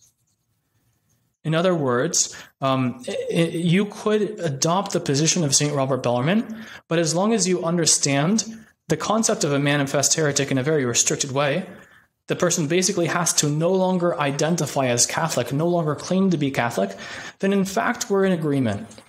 Because even um, the the theologians that we've quoted who say, um, you know, you need a sentence of the church. They're talking about a man who says heretical things but still claims to be um, a, a minister of the church, still claims to have the faith of the church. And there, because of that, you know, those two claims that the same man makes, which are logically in, in opposition to each other, logically contradictory, um, you have this doubt, um, and that's where a sentence of the church is needed to clarify things. You know. Um, but when a man makes no longer any pretension to be Catholic, no longer identifies as Catholic, um, expressly renounces the faith of the church, then fine. You don't need a sentence of the church there. And that's the way in which um, you know a theologian like like um, Cardinal Billot understands Saint Robert Bellarmine's thesis. And in fact, you know there are lines in Saint Robert Bellarmine which would tend to indicate that this is how we should understand him. Um, for example, where he says, as we've already quoted, it is certain, whatever one or another may think, that an occult heretic, if he be a bishop or even the supreme pontiff, does not lose his jurisdiction until either he publicly separates himself from the church. So that doesn't sound like just making a, a heretical statement in public, like like the post-conciliar popes have done, um, until he either publicly separates himself from the church or being convicted of heresy is unwillingly separated. And who will convict him of heresy? It's not going to be you or me in the pews saying, I think this man is a heretic. Um, so, understood properly, his thesis is acceptable. Uh, the whole problem comes from, you know, where he introduces the example of, of uh, Nestorius and and um, gives the impression that just saying heretical things in public is enough to be a manifest heretic. That's where we would disagree, if indeed St. Robert Bellarmine holds that that is sufficient. Um, so, so really, I think we are in agreement with St. Robert Bellarmine. Um, as regards the more important things, as regards his, his more fundamental theses, and specifically, it was very dear to St. Robert Bellarmine's heart um, to defend the visible church, uh, to defend the idea that the church is hierarchical, and never would he take this thesis of his to the point of concluding that a whole series of popes for 63 years have been anti popes and that the church's hierarchy has disappeared. Never would he agree with that. And, and if he had to choose, I think, between saying that on the one hand and renouncing his his opinion about a heretical pope and, and this you know ipso facto loss of, of, of office, I think he would choose to renounce his own opinion on this matter because the other thing is beyond dispute. There is no question that the church must always have a visible hierarchy, um, as we've seen from Vatican One. Um, from the you know statements of Pope Leo XIII and and from others as well. Um, and it's St. Robert Bellarmine himself who writes in his, his work on the Church Militant, which I recommend to any, any set of sedevacantist to read in its entirety. Read that whole work on the Church Militant. He says that um, the visible church is indefectible. The visible church, note that term. Um, and indefectible means incapable of, you know, ceasing to, to exist. The visible church is indefectible, and by the term church, we understand not one person or another, but a multitude gathered together in which there are prelates and subjects. But if the sedevacantists of today are right, there are no prelates in the church. There are no residential bishops who have been validly appointed. And so, in their conclusions, they contradict other, other teachings of St. Robert Bellarmine that I think are far more fundamental to his understanding of the church. And so, I would say that in fact, we are the ones who are in agreement with St. Robert Bellarmine even if we may, you know, um, challenge this or that thesis or the way that some people have understood it. We're the ones that ultimately agree with him upon his, you know, his fundamental principles of ecclesiology. So just to just to bring this all back to where we started from, Father, um, these recent statements by Pope Francis, they are in disagreement with previous teachings of the Church. They are in disagreement with previous teachings of the popes. even if we can call them heretical statements, we cannot use these basically as ammunition to say that Pope Francis is no longer the Pope. It just doesn't follow. Exactly. It, it does not follow with necessity. Um, even if you are, are of the opinion that St. Robert Bellarmine holds that a manifest heretic loses his office before a formal declaration by the church, um, is it certain really that he's a manifest heretic? That term was never defined by St. Robert Bellarmine. Exactly what is required for that. Um, and never should we follow a particular theological opinion to a point that we end up denying basic doctrines of the church, um, such as what Vatican I has taught um, about the perpetual succession of, of, of popes, um, about the you know uh, permanency of the papacy as the principle of the church's you know um, the uh, unity and uh, the church's visible foundation. These things we can't call into question. Um, and, and so, if it's a question of choosing between one theological opinion and another, um, for sure, we'll choose the opinion which is safer and which better better protects these doctrines of the church. And in this case, I think the safe opinion is the one that holds that um, for for a pope or any other person in the church to lose his his uh, authority, his jurisdiction, there would need to be a sentence, and without a sentence, that doesn't happen the crime remains, the crime of heresy remains canonically occult. And we've seen support for that in, in texts of St. Thomas Aquinas and of other theologians, and some of them even arguing from the practice of the church, as Billuart does, um, saying that, you know, um, this is the practice of the church to wait until a sentence is given before we consider a man to have lost his jurisdiction. And I think those arguments are very powerful. And what they do is they prevent us from having to follow this line of reasoning, which ends up in uh, ultimately the defection of the visible hierarchy and, and thus the, the defection of the church. Um, we, we don't want to go there, and there's no need to because there are solid theological opinions um, which, which don't lead in that direction. Sure. Um, as we wrap up here towards the end, Father, just as a matter of curiosity, and it would help to provide some context, sedevacantism seems like kind of a new innovation within the church or a new invention, so to speak. Um, have there been periods of set sedevacantism, or has this been a theory that has been accepted in the past? Absolutely. Um, well, as for its broad acceptance, this this just comes back to the the whole theological debate that we've been talking about, a debate that's never been authoritatively resolved. Um, but can we point to examples of men who have tried to apply this principle and say that a certain pope has lost his office for heresy, even though he had not yet been declared such? Yes, we can find ex- examples of individuals and even groups that have done so, and in some cases have persevered in doing so for many years. But without exception, all of them were wrong. And I think that in, in fact provides a very valuable historical lesson um, that we too ought to be cautious. It's not prudent to rush into these kinds of judgments. Um, so there are certain councils that have set themselves in opposition to a pope and declared him a heretic and, and sought to depose him and, and have even proceeded to elect for themselves an anti-pope, such as happened, for example, in the Council of, of Basel in the um, in the 15th century, if I recall correctly the date. Um, and this council uh, declared Pope Eugene IV a heretic and proceeded to elect um, for itself an anti pope, Felix V, who was the last of the anti popes up until the present day sedevacantism. Um, uh, so there was that council. Um, even much, much earlier in church history, there's the Second Council of Constantinople, which, um, under the guidance of the, the Eastern Emperor Justinian, um, declared Pope Vigilius to be a heretic and, and outside the church. Um, they didn't actually issue a sentence of excommunication. There were some some hesitations there, but they were certainly going in that direction. Um, we can mention Savonarola, who was a, a very you know famous Dominican friar, a preacher and reformer of morals during the you know corrupt um, Renaissance period of, of church history, um, and he was very scandalized by Pope Alexander VI. Um, who was, you know, uh, genuinely a scandalous pope, one who was very worldly and it seems indulged in many vices. Um, and Savonarola um, was so opposed to the Pope um, that he uh, declared that, that he was a heretic, and for many, uh, for a long time, he said the church has been without a pastor.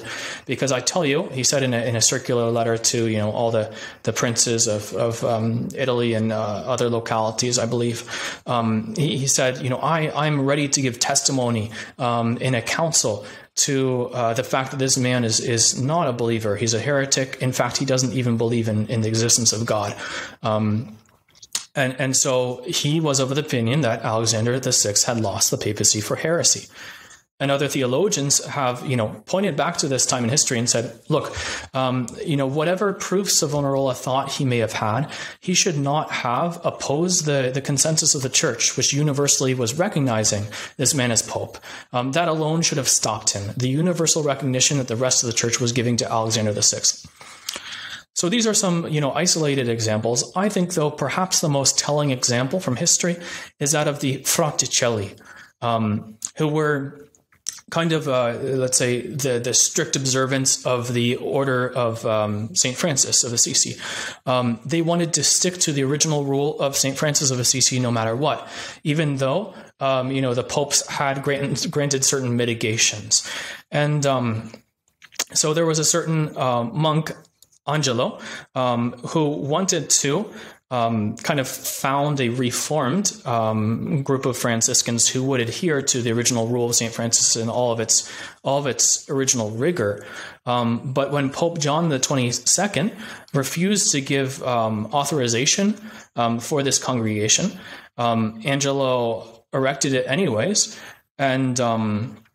Uh, founded in this independent Franciscan order known as the Fraticelli, and he and his followers denied that John the 22nd was really Pope, um, since he had abrogated the rule of St. Francis, which, according to them, was, was basically the gospel pure and simple.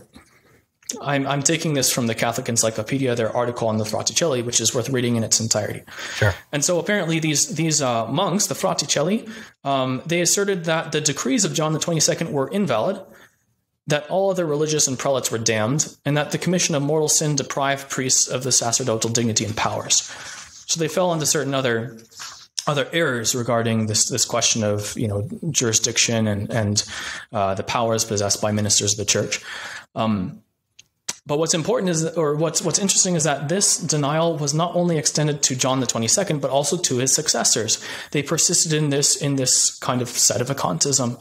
Um, so so again, this all began in the year thirteen eighteen. Um, that's when the Fraticelli originated, and we can go all the way to the year thirteen eighty nine.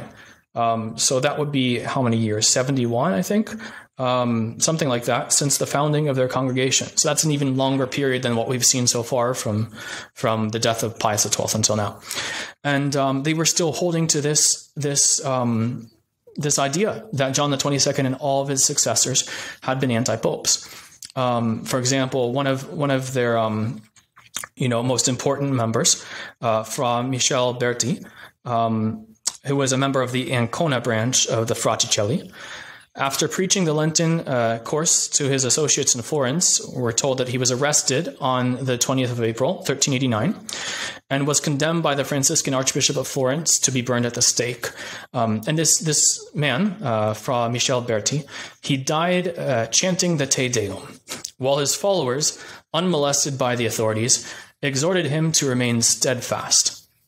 And to the very end, he maintained that John the 22nd had become a heretic by his four decretals, that he and his, and his successors had forfeited the papacy, and that no priest supporting them could absolve validly. So you see this this persistence of this of this schismatic group um, for for it looks like more than seventy years. You still have these men who are claiming that this whole succession of popes were anti popes, were invalid, that they were heretics and had lost the papacy for their heresy. I think it's a fascinating parallel. And we see again, you know, that they were men of austerity, of good intentions. Um, even the man dies, you know, being burned at the stake and chanting the Te Deum and being supported by his followers to remain steadfast. Um, and that's precisely what I think we see in the Sedevacantists today. It's a very dangerous position because, you know, history has judged the Fraticelli and has, has not judged them favorably. Um, and I'm afraid that those who who, like the Fraticelli, um, think that they can declare a whole series of popes to be invalid, anti popes, um, that they run the risk of, of being um, considered in the judgment of, of the church and in the judgment of history as schismatics. It's, it's a real danger. Right. Father, this has been uh, fascinating, and this has been longer, I think, than any other podcast we've done. But I think it's been important for us to go through it very clearly, very specifically, going through all of these different stages, um, because again, this is, you know, sedevacantism is something that is infecting, I would say, the church, but especially the traditional Catholic movement. Um, mm-hmm. Very strongly, especially in recent years, which is uh, disheartening, um, in my opinion. Indeed, it's it's something that we have to be on the lookout for, and, and I think that we ought to um, seek guidance in the example of Archbishop Lefebvre, who who of course himself um, toyed with this idea. He knew of the thesis of Saint Robert Bellarmine, and often, in fact, spoke about it. And after events such as Assisi, where John the, John Paul II had you know allowed for this public worship of, of false gods, even a statue of Buddha to be put on top of the uh, you know altar in in Assisi. Um, you know, uh, Archbishop Lefebvre very understandably was shaken by this and said, "Is it possible that this man be pope?" Um, but but always with his his customary prudence, he understood that in fact the visibility of the church and of her hierarchy is something too fundamental for us to call into question. And in fact, there is nothing obliging us to embrace this theological opinion that as soon as a man, um, you know, says something heretical in public, that he's lost his office. There are many reasons to think that that's not true.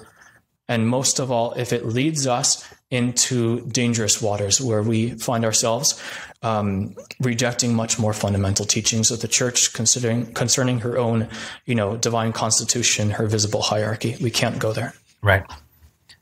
That makes sense. Father, thank you again so much, and uh, look forward to having you on at, a, at another time.